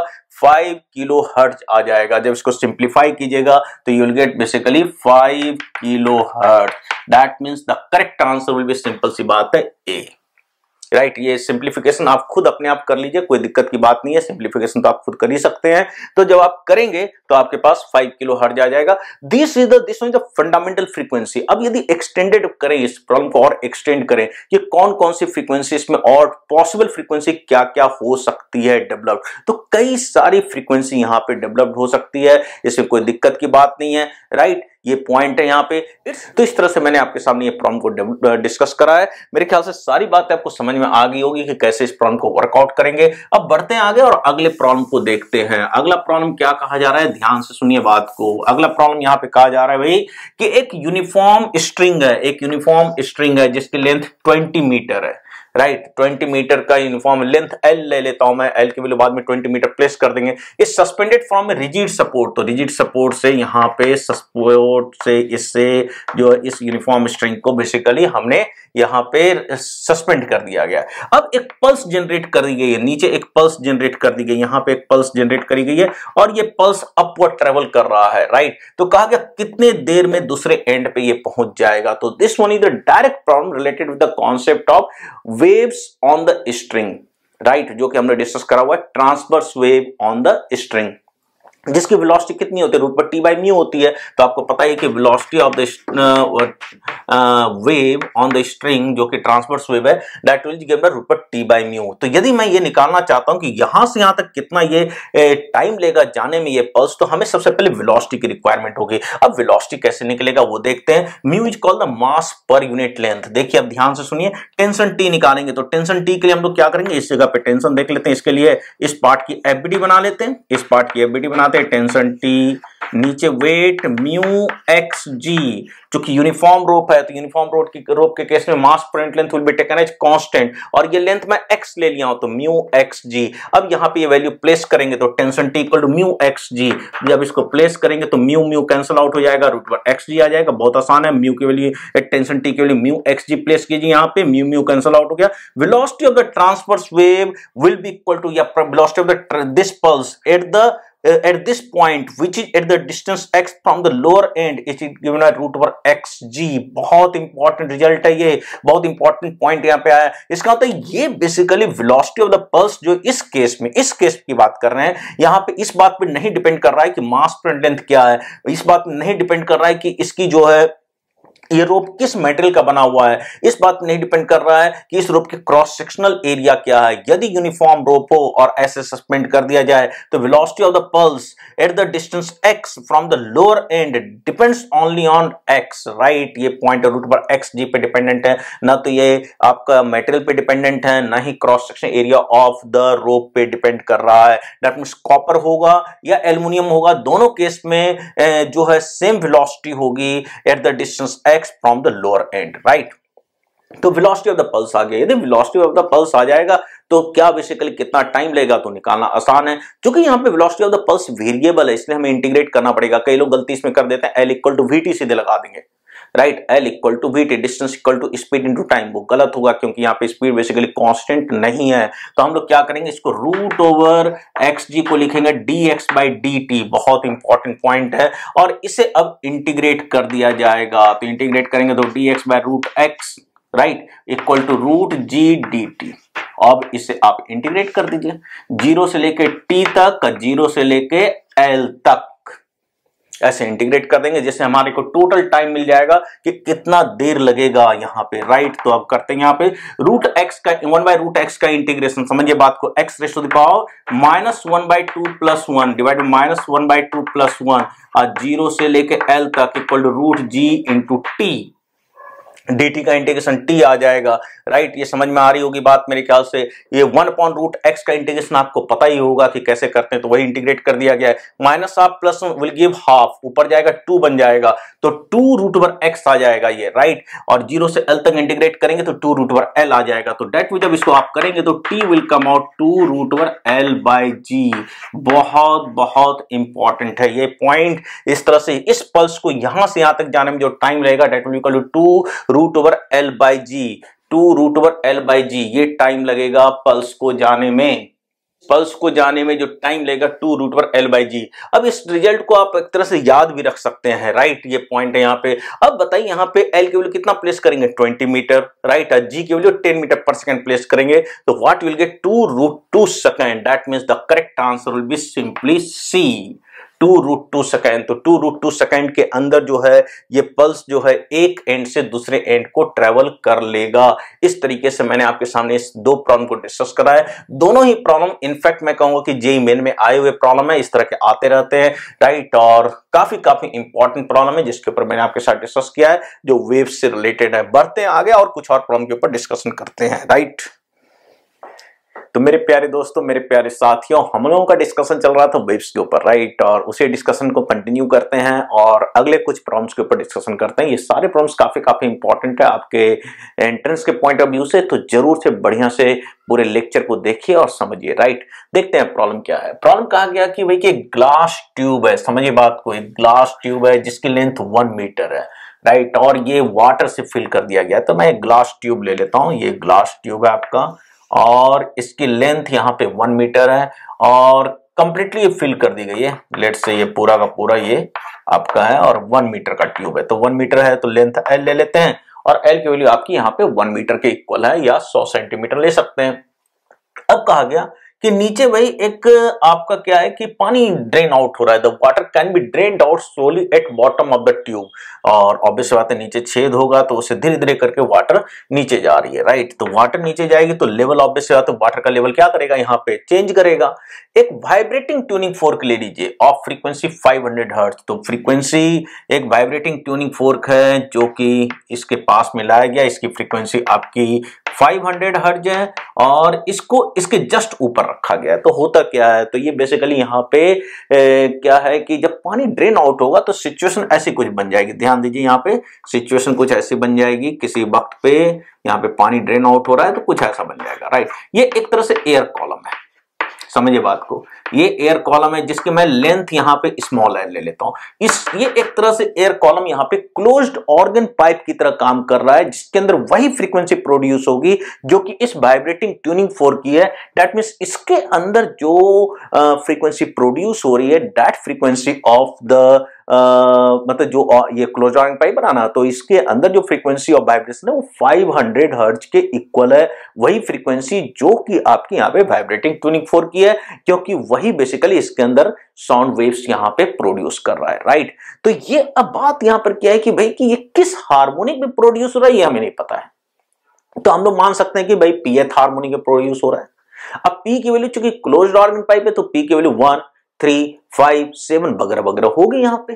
तो किसी वक्त में length of the this organ pipe L ले लेता हूँ। तो इसके अंदर की जो फ्रीक्वेंसी होगी पीएथ हार्मोनिक की, वो लिख सकता हूँ मैं P V by four L capital L यहाँ पे आपका 100 सेंटीमीटर है। लेकिन यहाँ पे small L length of the air column है। और this frequency must be equal to 500 hertz ये हमने लिख दिया। राइट अब हमारे को कहा जा रहा है कि भाई कि इसमें कि टोटल नंबर ऑफ़ रेजोनेंस बतानी है। टोटल नंबर ऑफ़ रेजोनेंस मतलब किस किस लेंथ पे बेसिकली इसकी वही फ्रीक्वेंसी होगी जो कि बेसिकली ट्यूनिंग फोर की है। रेजोनेंस का मतलब क्या हो गया? जो वाइब्रेटिंग ट्यूनिंग फोर्क है, उसकी फ्रीक्वेंसी और जो एयर कॉलम के अंदर जो फ्रीक्वेंसी बनेगी, वो दोनों आपस में इक्वल होना चाहिए। और हर एक लेंथ पे इक्वल नहीं होगी पर्टिकुलर सब लेंथ पे इक्वल होगी, और पर्टिकुलर हार्मोनिक पे ही। तो मान लिया जाए किसी लेंथ एल पे एयर कॉलम की किसी लेंथ एल पे, और आपका पी एथ हार्मोनिक है तो उस समय जो फ्रीक्वेंसी बनेगी PV by four L that will equal to five hundred अब इससे मैं एल के कंडीशन निकाल लूँगा स्मॉल एल की वैल्यू निकाल लूँगा। अब small L at the most कितना जा सकता है? सौ सेंटीमीटर उससे ज़्यादा तो जा ही नहीं सकता, क्योंकि इस पूरे पाइप का जब पानी पूरा ड्रेन आउट हो जाएगा तो at the most air column की जो लेंथ बनेगी, वो कितनी बनेगी? हंड्रेड सेंटीमीटर तो देखते हैं अब यहाँ पे तो एल की वैल्यू निकाल लेते हैं। तो यहाँ से हमारे पास जो एल की वैल्यू आएगी that will be equal to basically यहाँ पे पी वी की वैल्यू थ्री थर्टी तो पी लिख देते हैं जी into three thirty divide by four into basically five hundred ये बन जाएगा आपका। बनेगा नहीं बनेगा बताइए। यही तो आएगा एल के वैल्यू तो इसको सिंप्लीफाई थोड़ा कर लिया जाए तो ये और ये कट जाएगा जी। तो इससे यहाँ पे एल की जो वैल्यू आएगी सेंटीमीटर में लिख देते हैं तो P into thirty three divide by two hundred into hundred this much of centimetre right that means the L will come out एक तरह से ये भी और ये कट गया तो 16.5 P this much of centimetre right तो पहला पी की वैल्यू वन शुरुआत तो पी इक्वल टू वन से होगा। जब पी इक्वल वन डालेंगे तो लेंथ एल जो आएगा 16.5 सेंटीमीटर तो पहला एयर कॉलम जो होगा 16.6 एयर कॉलम की लेंथ जो होगी 16.5 सेंटीमीटर बनेगी। उसके ऊपर फ़र्स्ट हार्मोनिक में ये वाइब्रेट करेगा, जिससे कि उस केस की जो फ्रीक्वेंसी होगी, वही होगी जो कि इस ट्यूनिंग फोर की है। तो पहला लेंथ तो ये हो गया, जब पी इक्वल टू वन डाला तो। जब पी इक्वल टू थ्री डालेंगे टू नहीं डालना है टू इसलिए नहीं डालेंगे क्योंकि ये ओपन ऑर्गन पाइप नहीं है। क्लोज्ड ऑर्गन पाइप है तो पी की वैल्यू जब थ्री डालेंगे तो इट विल कम आउट ध्यान दीजिए 16.5 point five into three which will come out यहाँ पे कितना आ जाएगा? 49.5 आएगा नहीं आएगा तो it will come out 49.5 centimetre that mean जब एयर कॉलम की लेंथ 16.5 का थ्राइस हो जाएगा which will come out basically आप देखेंगे 49.5 सेंटीमीटर है तो उस केस में यहाँ पे हमारा बेसिकली थर्ड हार्मोनिक में एयर कॉलम वाइब्रेट करेगा और उसकी वही फ्रीक्वेंसी होगी जो कि ट्यूनिंग फोर की है। अगला क्या होगा? पी इक्वल टू फाइव तो पी इक्वल टू फाइव पे 16.5 point five into five which will come out 82.5 centimetre करके देख लीजिए ना फाइव फाइव से मल्टीप्लाई कर दीजिए तो ये आ जाएगा आपका 80 plus two point five it will come out 82.5 centimetre अगला, इस इस लेंथ पे, जब ये लेंथ एयर कॉलम का होगा तो उस समय ये थर्ड हार्मो ये फिफ्थ हार्मोनिक में होगा। इस वाले पे फ़र्स्ट हार्मोनिक में, इस वाले पे थर्ड हार्मोनिक में, इस वाले पे फिफ्थ हार्मोनिक में। और हर केस की फ्रीक्वेंसी वही होगी, जो 500 हंड्रेड जो ट्यूनिंग फोर की फ्रीक्वेंसी है। समझ में आ रही बातें? अब अगले वाले में जब P7 डालेंगे तो नौ पी सेवन पे ये ग्रेटर देन हंड्रेड सेंटीमीटर आ जाएगा। इसका मतलब इस तीन लेंथ को छोड़ के और किसी भी लेंथ पे यहाँ पे रेजोनेंस नहीं होगा। तो how many resonance will be there तो that means it will be simply three resonance तीन रेजोनेंस होंगे यहाँ पे। तीन डिफरेंट रेजोनेंस होगा, जिससे कि और इन सारे लेंथ ऑफ़ एयर कॉलम पे होगा। जब की frequency of the vibrating tuning fork 500 hertz होएगा। बहुत बेहतरीन प्रॉब्लम है, काफ़ी बढ़िया प्रॉब्लम है। इसका एक एक्सटेंडेड पार्ट ये भी हो सकता है, यदि मैं बर्नौली थ्योरम से रिलेट करूँ तो ये भी हो सकता है कि टाइम किस किस टाइम पे ऐसा होगा। तो जो टाइम होता है कि भाई कि कितने देर के बाद उतना वाटर लीक आउट कर जाएगा, जो हमने फ्लूड डायनामिक्स में डिस्कस भी कर रखा है तो उसको हम लोग रिलेट करके इसको और बेटर एंड बेटर प्रॉब्लम करा जा सकता है, जो परफेक्ट प्रॉब्लम एडवांस के लिए हो सकता है। हालाँकि ये मेन्स और एडवांस के पॉइंट ऑफ़ व्यू से बहुत बढ़िया प्रॉब्लम है राइट तो इस तरीके से यहाँ पे तीन रेजोनेंस आएँगे इसके राइट अब बढ़ते हैं आगे और अगले प्रॉब्लम के ऊपर वर्कआउट करते हैं यहाँ पे। नेक्स्ट प्रॉब्लम के ऊपर वर्कआउट किया जाए। नेक्स्ट प्रॉब्लम के ऊपर वर्कआउट किया जाए। अगला प्रॉब्लम क्या कर रहा है? देखिए two stressed wire in unison unison मतलब दोनों की सेम फ्रीक्वेंसी है। तो दो स्ट्रेस्ड वायर लिया जाइए। और इसके ऊपर आपको पता ही है कि ट्रांसवर्स स्टेशनरी वेव डेवलप होता है। तो दो अलग अलग वायर हमने ले लिया। और दोनों की फ्रीक्वेंसी अभी सेम है एफ़ एफ़ है। If T in one of the wire T मतलब tension in one of the wire is increase इसका मतलब होता है यहाँ पे इंक्रीज में लिख दिया हूँ। अब मतलब इंक्रीज बाय वन परसेंट एक परसेंट से इंक्रीज कर दिया जाए। तो three beats are produce in three second right produce होगा। एक मिनट मेरे ख्याल से प्रॉब्लम थ्री बिट्स अच्छा प्रॉब्लम के अंदर टू सेकेंड है। ये टू सेकेंड है, समझिए बात को, ये दो सेकेंड है। मैंने अभी प्रॉब्लम देखा तो three beats are produce in two second है राइट तो ध्यान दीजिए three beats are produce in two second तो एक सेकेंड में कितना हो जाएगा? 1.5 इसका मतलब जब tension in one of the wire को इंक्रीज करते हैं तो उस केस में इसकी, यदि मैं इसमें इंक्रीज करता हूँ तो इसकी फ्रीक्वेंसी अब नई फ्रीक्वेंसी एफ़ डैश हो जाएगी। और इसकी तो अभी भी एफ़ रहेगी, और F dash minus F will be D F क्योंकि यहाँ पे काफ़ी काफ़ी कम अमाउंट से यहाँ पे टेंशन इंक्रीज करा गया है। तो D F will come out 1.5 समझिए बात को। आप समझिए बात को। एफ़ इक्वल टू होता है P by two L root V T by mu होता है। जब यहाँ पे एक वायर के अंदर ट्रांसवर्स स्टेशनरी वेव प्रोड्यूस करते हैं तो आप frequency proportional to root T, frequency proportional to root T, tension tension में काफ़ी कम अमाउंट से इंक्रीज करी गई है। D T by T into hundred यहाँ पे वन के इक्वल है, इसलिए फ्रीक्वेंसी में भी जो इंक्रीज होगा, वो बहुत ही कम होगा, और फ्रीक्वेंसी कितने अमाउंट से इंक्रीज कर रही है सिंपल सी बात है वन पॉइंट फाइव हर्ट से डी एफ़ जो हो रहा है चेंज इन फ्रीक्वेंसी जो हो रही है, वो 1.5 हर्ज हो रही है, ऐसा इसलिए है कि three beats in two second तो एक सेकंड में बेसिकली 1.5 बिट्स है 1.5 बिट्स का मतलब डिफरेंस ऑफ़ फ्रीक्वेंसी राइट तो ये पॉइंट है यहाँ पे। अब हमारा पर्पस क्या है बेसिकली निकालना? इनिशियल फ्रीक्वेंसी हमें एफ़ की वैल्यू चाहिए इनकी। तो देखिए F proportional to root T है। तो इससे डायरेक्टली आप लिख सकते हैं D F by F into hundred will be equal to one by two D T by T into hundred ये कई दफे मैंने इसके ऊपर वर्कआउट करा रखा है। ये किस बेसिस पे वर्कआउट होता है? तो y equal to C X raise to the power N तो D Y by Y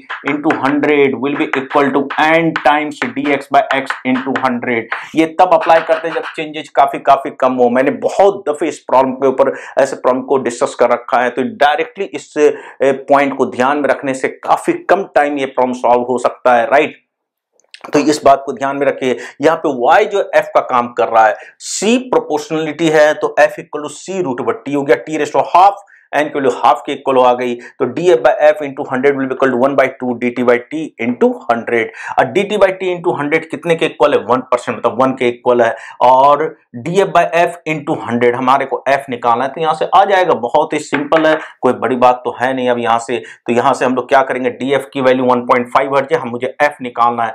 right तो हम लोग लिख देते हैं one point five into hundred divided by F right it will be equal to one by two क्योंकि D T by T into hundred कितना basically one के इक्वल है तो इट विल बी सिंपल से हाफ़ आ गया तो half आ गया तो सिंप्लीफाई कर लीजिए you'll get three hundred hertz simple सी बात है फ्रीक्वेंसी ओरिजिनल फ्रीक्वेंसी 300 हर्ज के आसपास आ जाएगी। Hence the original frequency simple सी बात है 300 हर्ज आएगी कैलकुलेशन कीजिए गेट द रिज़ल्ट डीएफ की जगह पे। 1.5 एफ़ मुझे निकालना है। D T by T into hundred is one hence जब कंप्लीट करेंगे तो एफ़ विल कम आउट 300 हर्ज जो बहुत आसान तरीके से मैंने आपको बताया ये प्रॉब्लम को सॉल्व करने का तरीका। यदि आप, जो मैं अप्रोच आपको बता रहा हूँ, यदि इस अप्रोच को ध्यान में रखा जाए और ऐसे करा जाए तो ये प्रॉब्लम करना बहुत बहुत आसान हो जाएगा। अब बहुत ही इंपॉर्टेंट बढ़िया प्रॉब्लम है जो मैंने आपके साथ डिस्कस किया है। तो डेफिनेटली सारी बातें आपको समझ में आ रही होगी, आ गई होगी। तो लेक्चर को लाइक कीजिए, लोगों को हमारे चैनल और हमारे वर्क के बारे में बताते रहिए, ताकि उनको भी हमारे काम से बेनिफिट हो सके right okay thank you and thank you very much मिलते हैं अगले सेशन में जिसमें कुछ नए कॉन्सेप्ट और नए प्रॉब्लम के ऊपर वर्कआउट करेंगे।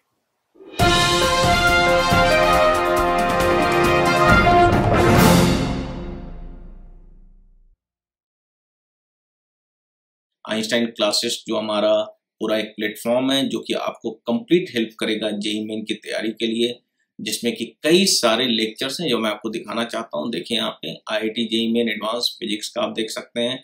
JEE Main advance crash course जिसमें कि अभी तक आठ चैप्टर को हमने यहाँ पे अपलोड कर दिया है। तीन तीन घंटे के लेक्चर्स हैं राइट इसको ज़रूर से आप थॉरली देखिए और इसका काफ़ी आप, इससे आपको काफ़ी मदद मिलेगा। फिर इसका J advance most important problem from Irodov S C Verma इसमें काफ़ी इंपॉर्टेंट सब प्रॉब्लम है। इनफैक्ट एनसीआरटी के भी इंपॉर्टेंट प्रॉब्लम्स हैं। इसका, जिसमें कि 73 टोटल लेक्चर्स हैं। इसका आप हेल्प लीजिए। J Main advance physics tricks का है ये लेक्चर इसमें काफ़ी सारे 23 ट्रिक्स बताए गए हैं, जो कि कॉन्सेप्ट बेस्ड ट्रिक्स हैं, और इसका यूज़ करके आप जल्दी से प्रॉब्लम को सॉल्व कर सकते हैं।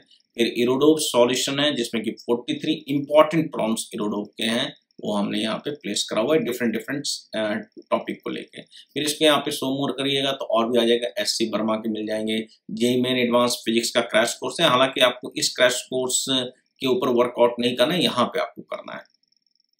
एंड देन इसके बाद आप देख सकते हैं कि ये देखिए JEE Main most important chapter topics in physics इसका आप हेल्प ले सकते हैं। तो ये सारे आपके वीडियो लेक्चर्स हैं जो आपको मदद करेंगे रोटेशन रोलिंग मोशन के ट्वेल्व लेक्चर्स हैं राइट इसका नीचे आ जाते हैं। देखिए, ये मैथ्स से रिलेटेड है। आप इसका पूरा आप देख सकते हैं। ये सारा आपका मैथ्स एंड केमिस्ट्री से रिलेटेड आपको मिलेगा, जिसका आप यूज़ कर सकते हैं राइट तो इस तरह से जेई मेन में के लिए आपका ये सारे लेक्चर्स हैं जो कि आप यूज़ कर सकते हैं। फिर इसके बाद हमारे पास हमारा जो है, एक आइंस्टाइन क्लासेस का साइट भी है। जब यहाँ से क्लिक करेंगे तो आपके पास ये साइट ओपन हो जाएगा। देखिए यहाँ पे आइंस्टाइन क्लासेस डॉट कॉम का ये साइट है, जहाँ पे आप जा करके जे मेन का से रिलेटेड स्टडी मटेरियल देखिए यहाँ पे। जे मेन और आई टी जेई दो है। जे मेन का आपको मैं ओपन करके बताता हूँ। इसमें देखिए अब इसमें physics maths chemistry previous question paper test papers ये सारे हैं। जैसे काइनामेटिक्स का खोलिएगा सिलेबस लिखा हुआ है काइनामेटिक्स का। इसके बाद फिर आपका कॉन्सेप्ट है ब्रीफ कॉन्सेप्ट लिखे गए हैं।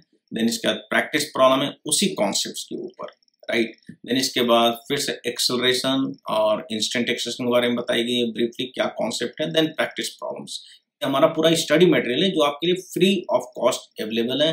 हमारी साइट पे जा करके आप इसे डाउनलोड कीजिए और इसका हेल्प लेकर के आप तैयारी कर सकते हैं।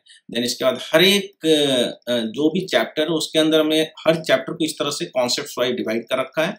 ब्रीफली कॉन्सेप्ट लिखी गई है, फिर उसके नीचे ही प्रॉन्स दिए गए हैं, ताकि आप उस कॉन्सेप्ट को समझ सकें। एंड देन इसके बाद आगे देखिए आप, इसी तरीके से देखिए मोशन विथ कॉन्स्टेंट एक्सलरेशन फिर उसके नीचे प्रॉन्स हैं। इस तरीके से पूरी चैप्टर को कवर अप किया। सारे चैप्टर को। फिर इसके बाद देखिएगा यहाँ पे इनिशियल स्टेप एक्सरसाइज है। इसके अंदर इंपॉर्टेंट प्रॉब्लम्स का एक्सरसाइज है, जो कि आपके जेई मेन में एडवांस में आता रहता है। राइट ये देखिए आपको मैं दिखाता हूँ ये पूरा। जैसे इसमें आपके इनिशियल स्टेप में करीबन आप पंद्रह क्वेश्चन इसमें जो है सेवनटीन क्वेश्चन है। फिर फाइनल स्टेप एक्सरसाइज थोड़ा टफर लेवल के प्रॉब्लम जो जेई मेन में आते हैं। बट ये कंप्लीट जेई मेन को कवर अप अच्छे से करता है और इनफैक्ट जे एडवांस की भी तैयारी आपको अच्छे से करा देगा ये पूरा स्टडी मेटेरियल फिर ए आई ट्रिपल एनालिसिस मतलब जेई के प्रीवियस ईयर के पेपर्स हैं, लेकिन इसमें सारे क्वेश्चन नहीं है, ये टू थाउज़ेंड सेवन तक हमने प्लेस कर रखा है। फिर टेस्ट योर सेल्फ फिर दस बारह क्वेश्चन का टेस्ट आपको देना है, नीचे आंसर्स हैं।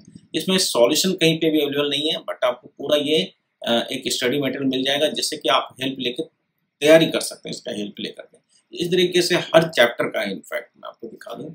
देखिएगा आप यहाँ पे। डायनामिक्स रोटेशन मोशन इस तरह से फिजिक्स के चैप्टर हो गए फिर मैथ्स के चैप्टर भी आप, आपको मिल जाएँगे फिर केमिस्ट्री के भी चैप्टर मिल जाएँगे फिर प्रीवियस ईयर क्वेश्चन पेपर भी आपको मिलेगा ये सारे 2014 2015 के प्रीवियस ईयर के क्वेश्चन पेपर है फिर एक्स्ट्रा टेस्ट पेपर्स हैं ये सारे टेस्ट पेपर्स हैं जिससे ये प्रैक्टिस टेस्ट पेपर है इसका हेल्प लेकर छः टेस्ट पेपर्स हैं जिसका है आप घर पे फुल टेस्ट आप दे सकते हैं ये कंप्लीट फ्री ऑफ़ कॉस्ट है राइट एक तो ये बात है फिर इसके बाद इसी तरीके से हमने आप लोगों के लिए आई जे के लिए भी ऐसा पूरा ही स्टडी मटेरियल डेवलप कर रखा है अपने साइट पे। वहाँ पे जा करके देखिए physics maths chemistry previous year question paper self evaluation test then final revision तो इसका पूरा आप हेल्प ले सकते हैं सारे चैप्टर्स का। और साइट हमारी काफ़ी प्लेन साइट है और जा करके स्टडी मटेरियल को डाउनलोड कीजिए और उसका हेल्प लेकर के आप पढ़ाई कीजिए राइट तो ये मेरा बताने का पर्पस ये था कि आप किस तरह से हमारे साइट को और हमारे जो एजुकेशनल चैनल है यूट्यूब पे, उसका यूज़ करके आप अपनी आई टी की प्रिपरेशन कर सकते हैं राइट चैनल को सब्सक्राइब कर लीजिए, लोगों को हमारे वर्क के बारे में बताइए, हमारे काम के बारे में बताइए, लोगों को मोटिवेट कीजिए हमारे चैनल को सब्सक्राइब करने के लिए, ताकि जो भी नए वीडियो अपलोड होंगे तो उनके पास डायरेक्टली नोटिफिकेशन में आ जाएगा, उसका वो हेल्प ले सकते हैं right okay thank you and thank you very much मिलते हैं अगले कुछ सेशन में, जिसमें भी इसी तरह से हम लोग जेई मेन के ऊपर बात करते रहेंगे, जो कि आपका 2019 में आपका जनवरी के महीने में होने जा रहा है right okay thank you and thank you very much